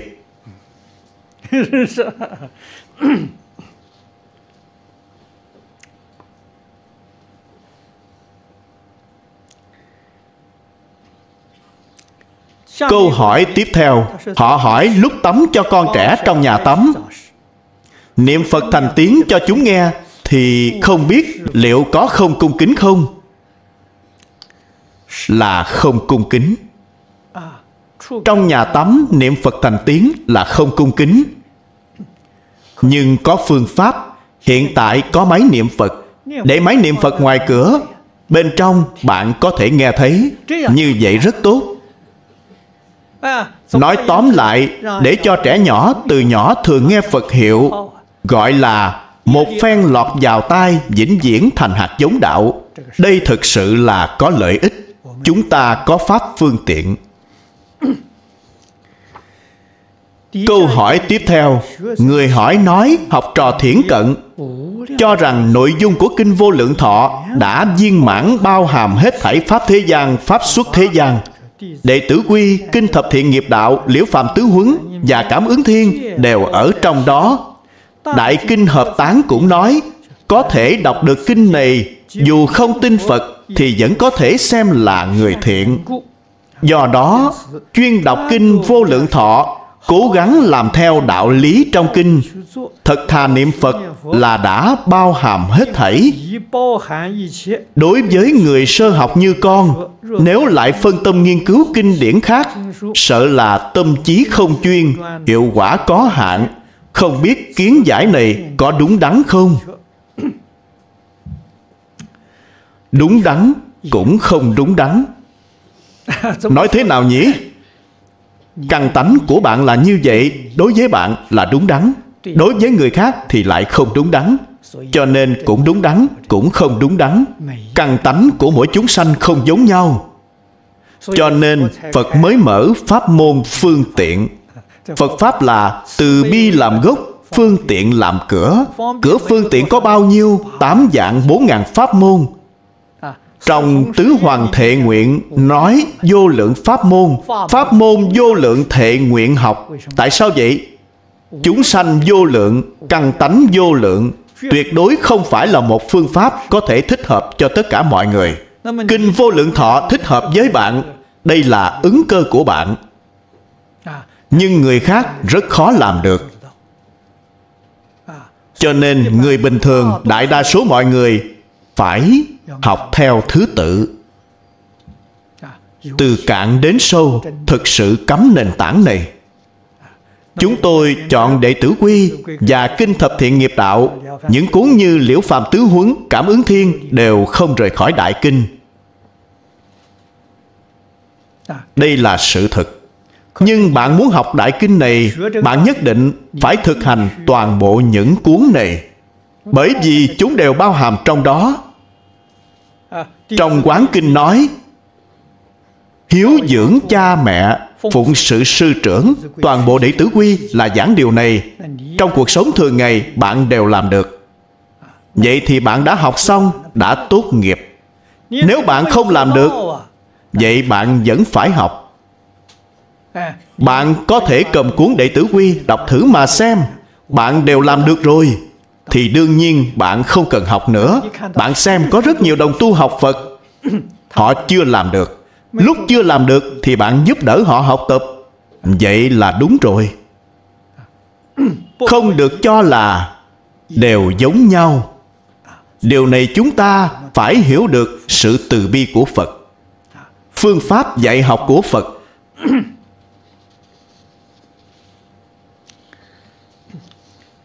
Tiếp theo, một vị đồng tu hỏi, ông ấy nói, nếu đã tất cả pháp hữu vi như mộng, huyễn, bọt, bóng, vậy tại sao còn phải đọc kinh, niệm Phật? Cung thỉnh Lão Pháp Sư khai thị, nếu như bạn thực sự đã khế nhập tất cả pháp như mộng huyễn, bọt, bóng, thì bạn không cần phải đọc bất kỳ kinh gì nữa. Bạn cũng không cần niệm Phật. Tại sao vậy? Bạn đã thành Phật rồi Nhưng mà bạn phải biết câu này mà chưa làm được. Bạn vẫn còn thị phi nhân ngã Bạn vẫn có vọng tưởng phân biệt chấp trước. Vậy thì bạn vẫn phải đọc kinh Niệm Phật. Trừ những điều này ra Thì bạn không có cách nào. Cho nên mộng huyễn bọt bóng là thật Không giả chút nào. Nếu bạn thật sự khế nhập cảnh giới này Đây chính là bạn đã chứng đắc thật tướng các pháp. Chứng được thật tướng các pháp Bạn đã là Pháp thân Phật rồi Phá một phẩm vô minh, Chứng một phần Pháp thân. Bạn là Pháp thân đại sĩ. Không chỉ vượt khỏi sáu cõi, Mà mười Pháp giới cũng vượt qua. Cho nên chỗ này tuyệt đối không được hiểu lầm.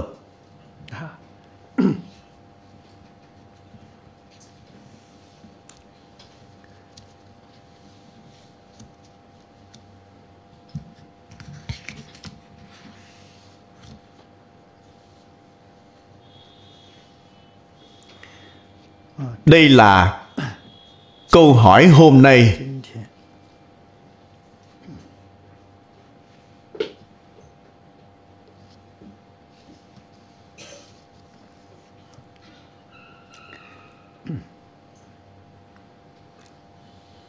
Đây là một vị đồng tu. Ông ấy đưa ra hai câu hỏi. Khuyên người sơ học dạy họ niệm phật. Không bằng khuyên họ nghe kinh. Liệu như vậy có dạy sai chúng sanh không? Không đâu. Khuyên họ niệm phật là trồng thiện căn giúp họ. Đó gọi là một phen lọt vào tai vĩnh viễn thành hạt giống đạo. Một đời này của họ rất khó có được lợi ích. Chỉ là kết duyên với phật bạn khuyên họ nghe kinh, hiện tại họ liền có được lợi ích. Căn tánh chúng sanh không giống nhau. Đặc biệt là đối với phần tử tri thức. Bạn khuyên phần tử tri thức niệm phật, họ không vui, họ không quan hỷ nghe. Dùng phương pháp nào khuyên họ? Không cần khuyên họ trên tay chúng ta cầm một chuỗi hạt niệm Phật, chính là khuyên họ. Họ vừa nhìn thấy chuỗi hạt thì sẽ nghĩ đến Phật. Bạn xem, đã gieo Phật vào trong A Lại Gia Thức, Cho nên một chuỗi hạt niệm Phật là được. Phổ biến, khuyên mọi người niệm Phật. Nhất định phải khuyên họ nghe kinh. Tôi vào cửa Phật Chính là thầy giảng cho tôi nghe, Thì tôi mới hiểu được bạn nói, bảo tôi đi niệm phật, chắc chắn không thể nào. Không thể nào tiếp nhận được. Căn tánh mỗi người không giống nhau. Hiện tại chúng ta nhìn thấy một số người trẻ tuổi khuyên họ niệm phật, họ liền thực sự niệm. Tôi rất khâm phục họ. Tại sao vậy? Họ có thể làm được. Tôi làm không được. Việc niệm phật này phải mất mười mấy năm, tôi mới tin, mới thực sự quyết một lòng niệm. Lúc chưa hiểu rõ ràng thì luôn hoài nghi không thể tiếp nhận, nhất định phải làm cho rõ ràng, nghe kinh tốt hơn bất kỳ điều gì. Đặc biệt là thế nào? Nhận thức phật giáo. Dùng sách này để tiếp dẫn hàng sơ học thì vô cùng thích hợp. Nhận thức phật giáo là tôi giảng ở nước mỹ, ở miami. Bởi vì tọa đàm lần đó, lúc đồng tu địa phương mời tôi tới là giảng đại ý kinh địa tạng, giảng một tuần. Nhưng mà tôi vừa tới đó, nhìn thấy nơi đó có rất nhiều người mỹ. Đây là chuyện rất ít khi gặp được. Có nhiều người địa phương ngồi đó, tôi nói đây là việc rất hiếm có. Cho nên ngay lập tức tôi không giảng đại ý kinh địa tạng nữa. Tôi nói tôi giảng nhận thức Phật giáo. Cho nên nhận thức Phật giáo là giảng cho người Mỹ. Sau đó, Họ từ băng ghi âm viết ra quyển sách này. Hiện tại quyển sách này lưu hành rất rộng Trên toàn thế giới, đều có lưu hành. Cũng có mấy bản phiên dịch sang tiếng nước khác.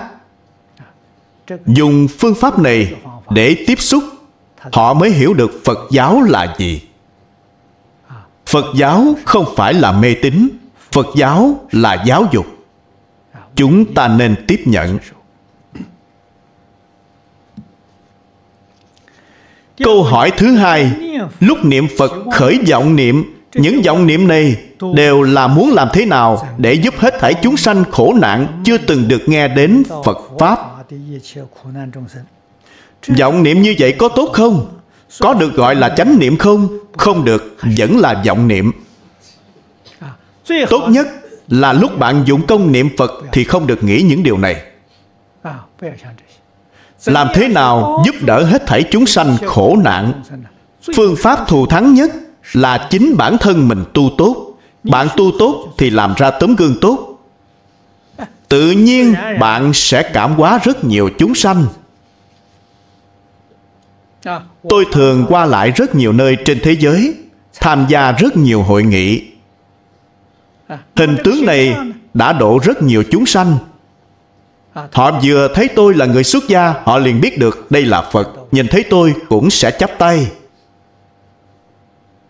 Tôi không có bất kỳ cấm kỵ gì. Có rất nhiều người xuất gia Lúc tham gia hội nghị quốc tế. Họ đều đổi thành đồ vest. Tôi không đổi. Tôi vẫn giữ hình tướng này.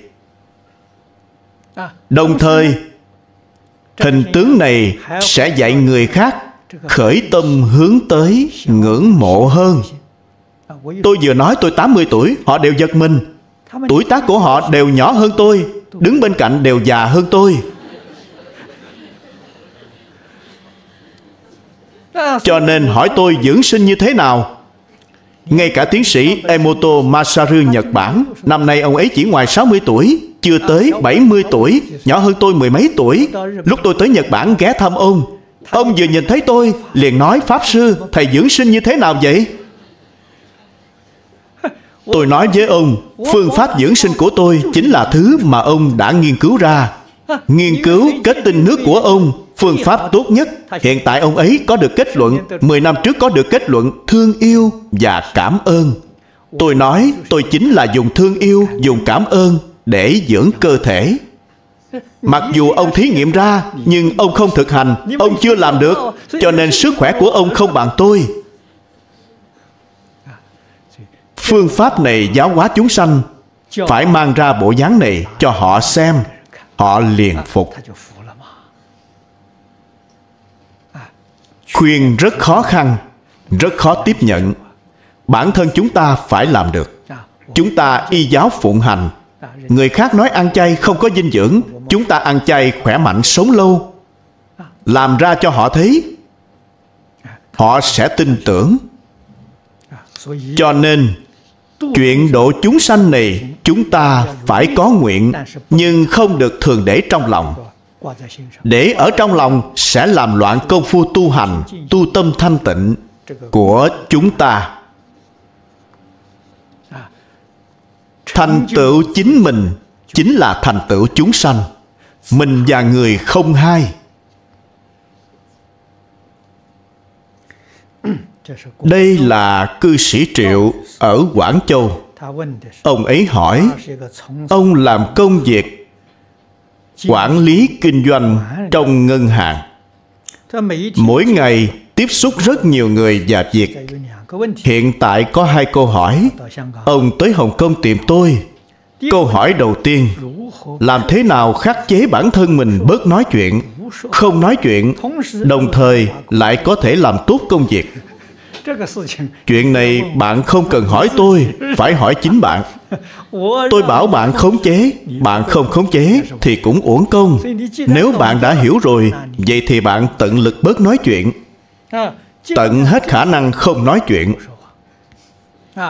Khi đối mặt với khách hàng, những gì cần phục vụ họ thì bạn tận tâm tận lực giúp đỡ.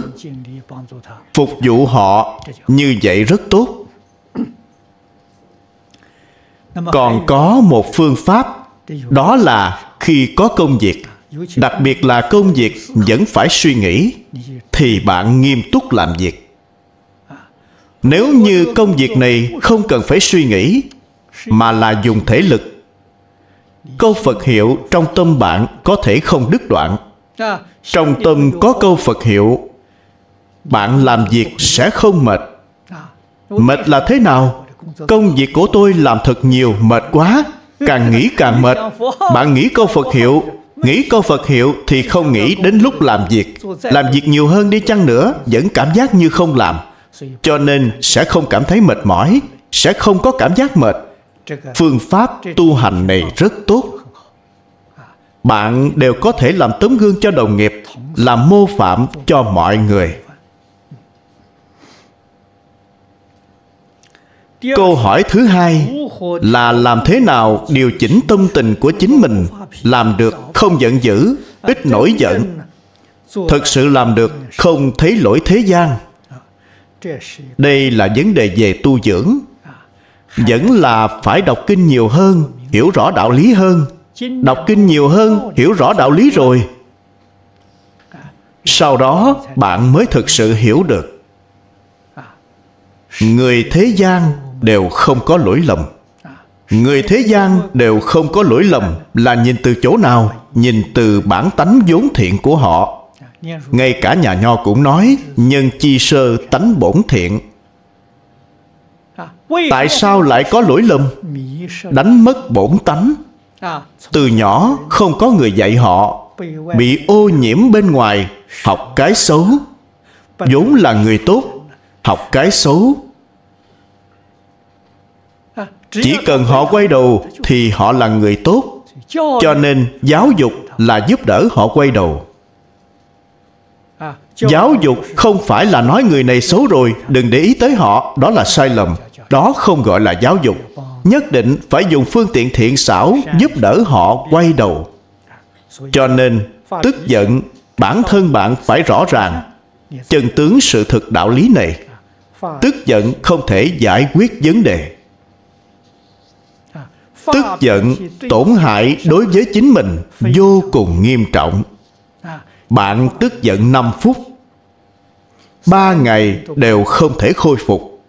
Tại sao vậy? Một khi tức giận, bạn cũng biết thí nghiệm của tiến sĩ emoto masaru, tế bào toàn thân đều trở thành rất xấu.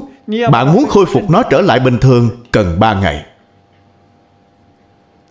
Bạn mắng người sẽ tức giận, người khác chịu sự tổn hại của bạn chỉ có ba phần, bản thân mình bảy phần, thật không có lời đây là chuyện khờ dại. Đây không phải là chuyện người thông minh làm. Người thông minh chắc chắn không tổn hại chính mình. Chắc chắn không tức giận. Không tức giận vẫn giải quyết được vấn đề, làm tốt sự việc.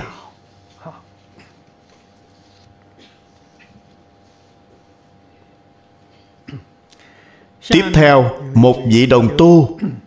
Ông ấy nói, đệ tử xin pháp sư giải đáp nghi hoặc cho đệ tử trong giới kinh có một điều. Nếu cha mẹ sư trưởng bị bệnh có thể tới thăm bệnh khổ không? Chúng đệ tử đều trả lời có thể.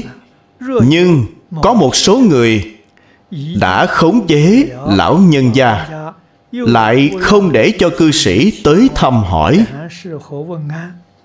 chúng đệ tử cũng không thể chăm sóc cúng dường thăm hỏi bệnh khổ trong lòng cảm thấy bi thương lại phẫn nộ với những người đó không hiểu tâm thái của họ là gì nhưng đệ tử chúng con liệu có phạm tội không tới thăm sư trưởng bệnh khổ không xin sư phụ từ bi giải đáp cho chúng con chuyện này đích thực có. Bên cạnh người bệnh, thị giả của họ, người chăm sóc họ, không để bạn tới thăm họ. Nhưng tâm ý của bạn đều tới rồi. Công đức của bạn viên mãn rồi. Tội lỗi, chướng ngại thuộc về những người bên cạnh họ. Không liên quan tới bạn. Phải biết điều này người bên cạnh chướng ngại đều là hy vọng cố gắng để người bệnh yên tĩnh. Không để cho họ có nhiều xã giao xã giao tổn hại tinh thần. Cho nên, hai mặt đều là tâm tốt. Chỗ này, liệu có lỗi lầm không? Vậy thì là vấn đề rất nhỏ bé. Nếu như người này là một vị trưởng bối, là người có đức hạnh. Nếu họ thực sự có chuyện tới giao phó, tới thăm người này không thăm được. Họ tới rồi mà bạn từ chối cho gặp mặt, vậy thì có lỗi lầm.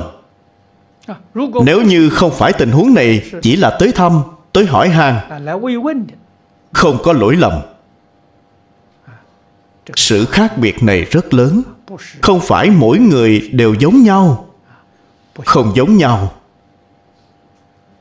Tình huống này đều phải xem tình hình lúc đó mà định. Không thể nói chắc chắn có lỗi hay không có lỗi. Nói tóm lại, chúng ta tới thăm bệnh tâm ý của chúng ta đều tới rồi. Đây chính là công đức viên mãn. Không phạm những tội lỗi trong giới kinh nói tới.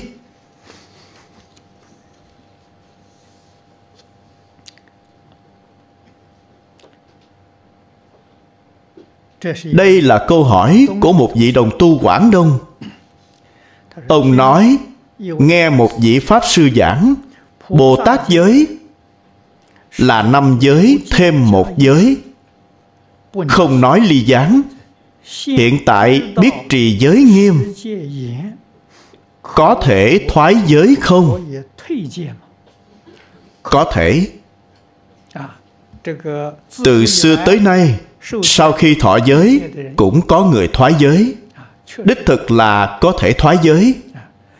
Sau khi thoái giới, hy vọng bạn học giới. Bạn phải học. Tôi thành thật nói với bạn, những gì bạn thọ đều là giả. Thoái hay không đều không vấn đề. Tại sao vậy? Bạn căn bản chưa đắc giới. Thì bạn thoái cái gì? Căn bản chưa đắc giới. Lời này không phải là tôi nói lời này đại sư ngẫu ích nói sớm nhất.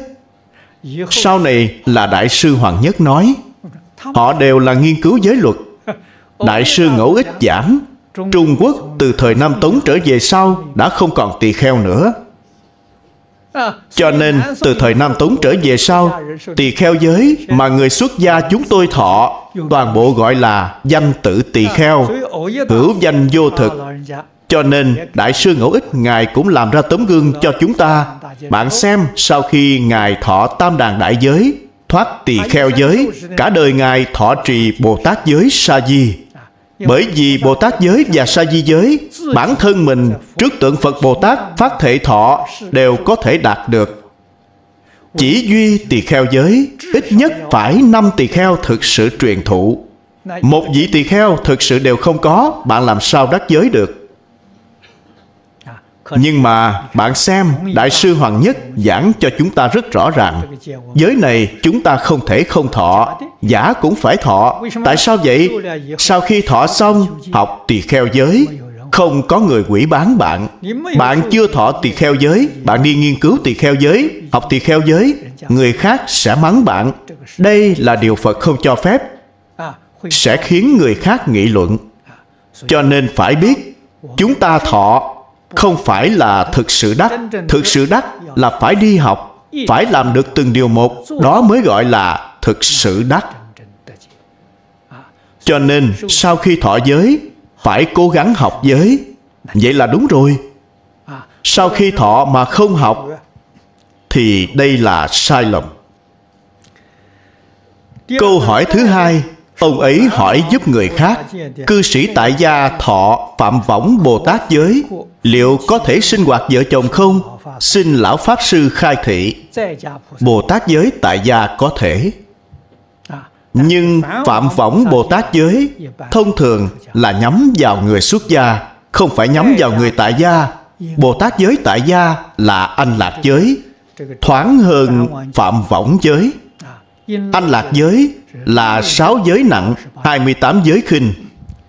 Không giống phạm võng. Phạm võng là 10 giới trọng 48 giới khinh. Giới điều nhiều, không dễ giữ. Cho nên tại gia tốt nhất là thọ anh lạc Bồ Tát giới.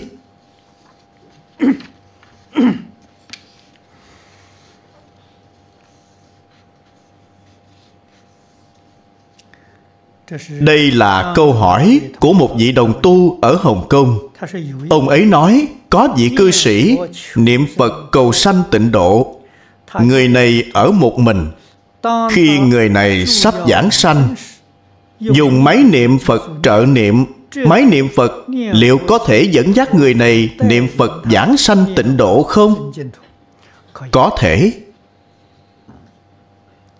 con người vào lúc lâm chung, quan trọng nhất là phải có người nhắc nhở họ niệm phật, không tới mức bị gián đoạn câu phật hiệu. Không đến mức có vọng tưởng. Cho nên có đồng tu giúp họ trợ niệm rất tốt. Không có thì dùng máy niệm phật cũng vô cùng tốt. Máy niệm phật có lúc tôi cảm thấy còn tốt hơn con người. Bởi vì con người có vọng niệm, máy niệm phật không có vọng niệm con người có lúc còn khởi tâm động niệm máy niệm phật chỉ giúp đỡ niệm phật sẽ không có khởi tâm động niệm.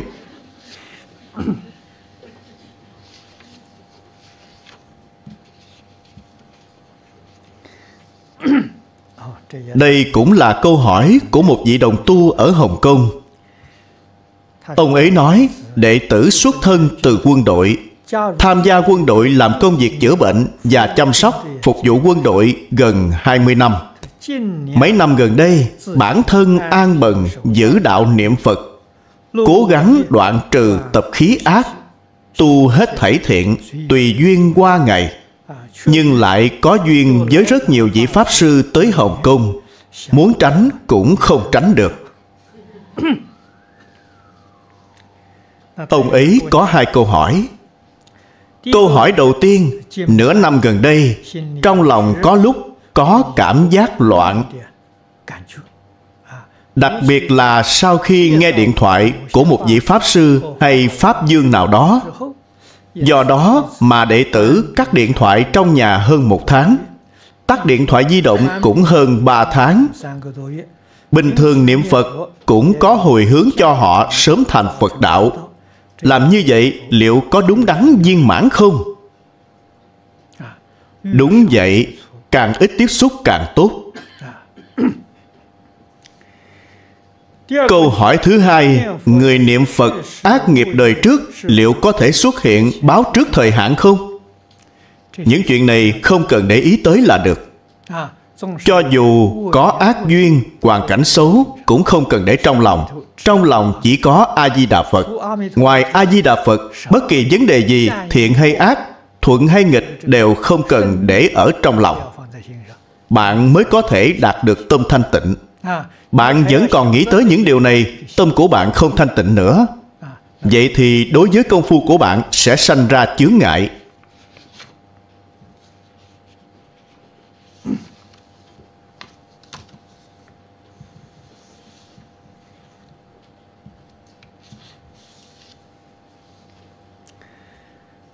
Vị đồng tu này cũng tới từ Hồng Kông. Câu hỏi của ông ấy là Bản thân con Ngoài lễ thanh minh, trùng dương Vu Lan Bồn sẽ siêu độ người thân đã mất ra. Mỗi khi Phật đường có Phật thất Lương Hoàng Sám, Phóng Diệm Khẩu Và Phóng Mông Sơn vân dân Con đều sẽ tham dự Để cầu siêu độ cho người thân đã mất những nghi thức này bản thân con cũng đã liên tục tham dự mấy năm nay. Xin hỏi pháp sư, những nghi thức này liệu thực sự có thể siêu độ người thân đã mất không? Siêu độ người thân đã mất thực sự không nằm ở nghi thức, là ở tu trì của bạn. Sự chân thành của bạn và sự tu trì của bạn đó mới là nhân tố siêu độ thực sự. Chúng ta xem ảnh trần hồi ức lục của lão pháp sư đàm hư. Đó là truyện ký của lão pháp sư đàm hư. Trong đó có ghi chép một mẫu chuyện siêu độ dòng linh. Sau khi bạn đọc xong sẽ hiểu. Đó là chuyện xảy ra khi lão pháp sư còn chưa xuất gia. Họ có ba người bạn mở một tiệm thuốc đông y. Trong đó có một người học phật rất kiền thành. Mỗi ngày đọc kinh lăng nghiêm cũng không có ai dạy. Họ cũng không có sư phụ tự mình niệm. Niệm 8 năm. Cho nên tựa đề câu chuyện đó của ông ấy là 8 năm gian khổ đọc lăng nghiêm. 8 năm đọc một bộ kinh không dễ dàng bạn liền biết được sự thành tâm của ông ấy. Ông ấy có thể duy trì, không gián đoạn. Đây gọi là định. Người bình thường chúng ta gọi là bền chí. Người này bền chí. Bền chí lâu ngày chính là định. Đó là sanh ra công đức. Người bạn đọc kinh này có một hôm vào buổi trưa, không có ai tới mua thuốc ông ấy ngủ gật ở trong quầy. Ngồi ở đó ngủ gật, liền nằm mơ một giấc mộng. Mơ thấy có hai người từ bên ngoài tới tiệm tìm ông. Ông vừa nhìn thấy hai người này thì trong lòng rất sợ hãi. Hai người này đã chết rồi. Chết như thế nào? Trước đây tranh chấp tiền tài nên cùng ông kiện tụng.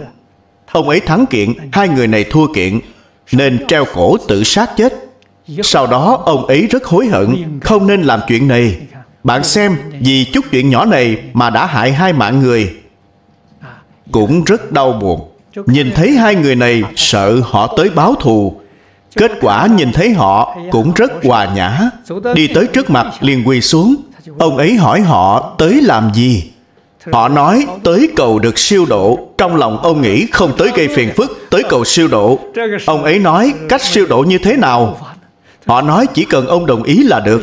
Được, tôi đồng ý. Nhìn thấy hai con quỷ này đạp lên đầu gối của ông, đạp lên vai của ông rồi bay lên trời. Bạn xem siêu độ đơn giản như vậy đó. Công phu 8 năm, gian khổ đọc lăng nghiêm. Đơn giản vậy thôi. Sau khi hai con quỷ rời đi, Lại nhìn thấy có hai người tới. Một người lớn, Một đứa nhỏ. Nhìn kỹ lại Quá ra là người vợ đã mất của ông ấy Đứa nhỏ là con trai ông ấy. Cũng tới trước mặt quỳ xin siêu độ. Phương pháp giống vậy. Siêu độ như thế nào? Đồng ý là được. Cũng nhìn thấy họ đạp lên đầu gối Đạp lên vai rồi bay lên trời. Bạn liền biết được Phật Pháp trọng thực chất Không trọng hình thức Bình thường, chúng ta thỉnh Pháp Sư siêu độ. Có thể siêu độ hay không, Phải xem công phu tu hành của Pháp Sư. Họ thực sự có tu hành, Thực sự tu hành. Không có tu hành, vậy tức là nói, làm thì tốt hơn không làm một chút. Chỉ có thể nói như vậy thôi. Trên thực tế, không có hiệu quả gì. Bạn thử nghĩ xem, lương hoàng sám, lương hoàng sám là ai chủ pháp? Là bảo chí công bảo chí công là quán thế âm bồ tát quá thân. Cho nên thực sự có hiệu quả. Bạn không phải là người thực sự có đạo tâm, có tu trì. Vẫn là ít làm thì tốt hơn. Tại sao vậy? Bạn nợ người khác món nợ này, tương lai bạn làm sao trả? Chuyện này rất đáng sợ. Cho nên cung kính, thành khẩn mà làm. Chắc chắn không được gì danh văn lợi dưỡng chúng ta làm được như vậy, có lẽ còn có chút công đức. Nếu như trong đó xen tạp danh văn lợi dưỡng, xen tạp tâm tạp loạn thì không có hiệu quả. Vậy thì lúc làm sẽ có lỗi với người đã khuất.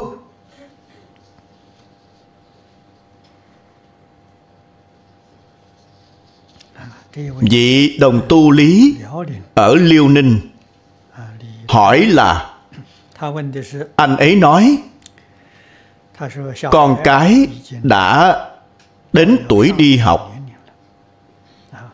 có cho con cái đi học không?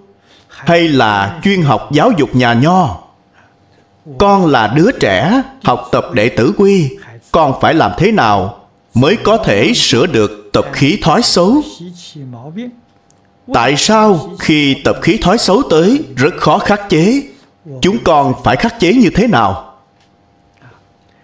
Rất khó, vẫn phải khắc chế mới được. Không được nói khó thì không khắc chế.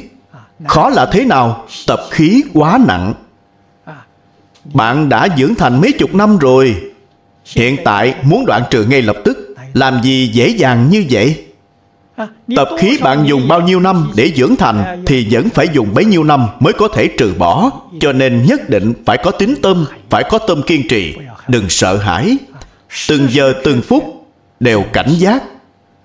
Điều này rất quan trọng. Vậy cảnh giác ai tới cảnh giác bạn? Chỉ có ngày ngày đọc kinh ngày ngày nghe kinh mới có thể nhắc nhở bạn. Không có người nhắc nhở thì chớp mắt đã quên rồi cảnh giới hiện tiền, thói quen cũ lại bộc phát. Đây là điều thường tình của con người, không phải chỉ mình bạn. Tất cả những người tu hành đều có thói xấu này. Đây là thời gian dài, bản thân phải kiên trì. Quyết định không buông lỏng, phải nghiêm túc nỗ lực mới được. Đệ tử quy là phương pháp tốt nhất sửa đổi thói xấu, nhất định phải thực hành trong cuộc sống hàng ngày còn chuyện con cái tới tuổi đi học. bạn không cho chúng đi học làm trái với pháp luật của đất nước. Bạn không cho chúng đi học thì bạn làm sao dạy chúng? vậy thì bạn phải có phương pháp hay để dạy chúng? Chúng tôi cũng nghĩ tới vấn đề này. Rất nhiều phụ huynh tới nói vấn đề này với tôi. Cho nên chúng tôi quyết tâm muốn mở một trường học ở trung quốc trường học này của chúng tôi là bắt đầu mở từ mầm non cho đến đại học. Trong này coi trọng giáo dục luân lý đạo đức, đặc biệt là mầm non và tiểu học. Tỷ lệ này chiếm rất lớn. Tới cấp 2 trở lên, dần dần sẽ mở rộng tiếp nhận một số giáo dục khoa học kỹ thuật. Tóm lại, giáo dục luân lý đạo đức là đặc sắc của chúng tôi. Hiện tại trù bị đang trong thời gian trù bị trường học có khả năng tháng sau khởi công. Chúng tôi dự định tháng 8 khởi công. Chắc là khoảng 1 đến 2 năm mới có thể xây xong. Địa điểm là khánh dân sơn đông. Tại sao lại tới đó? Lãnh đạo nơi đó quá nhiệt tình chúng tôi bị ông ấy cảm động. Ông ấy nói, loại trường học này nên xây ở sơn đông. Sơn đông là quê hương của khổng lão phu tử. Thầy không được đi nơi khác. Vô cùng nhiệt tình. Chúng tôi thực sự bị ông ấy cảm động. Cho nên quyết tâm mở ở chỗ ông ấy. Tin tức truyền tới tỉnh. Trong tỉnh liền không vui. Đây là chuyện lớn. Làm sao có thể mở ở huyện nhỏ của anh được? Tỉnh muốn tranh tranh thì hiện tại chúng tôi có một phương pháp điều giải đó là mầm non tiểu học đại khái cả cấp 2 mở ở Khánh Dân, cấp 3 và đại học thì nghe theo ý của chính quyền tỉnh, có thể là ở Tế Nam.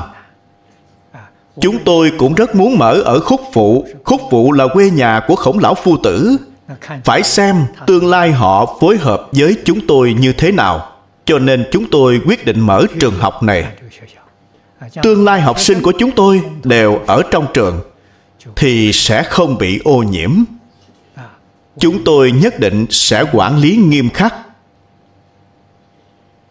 hy vọng trường học này có thể xây được đích thực là sanh ra hiệu quả tốt hy vọng lại phổ biến đến các nơi khác trên toàn quốc. Chúng tôi có cách làm này.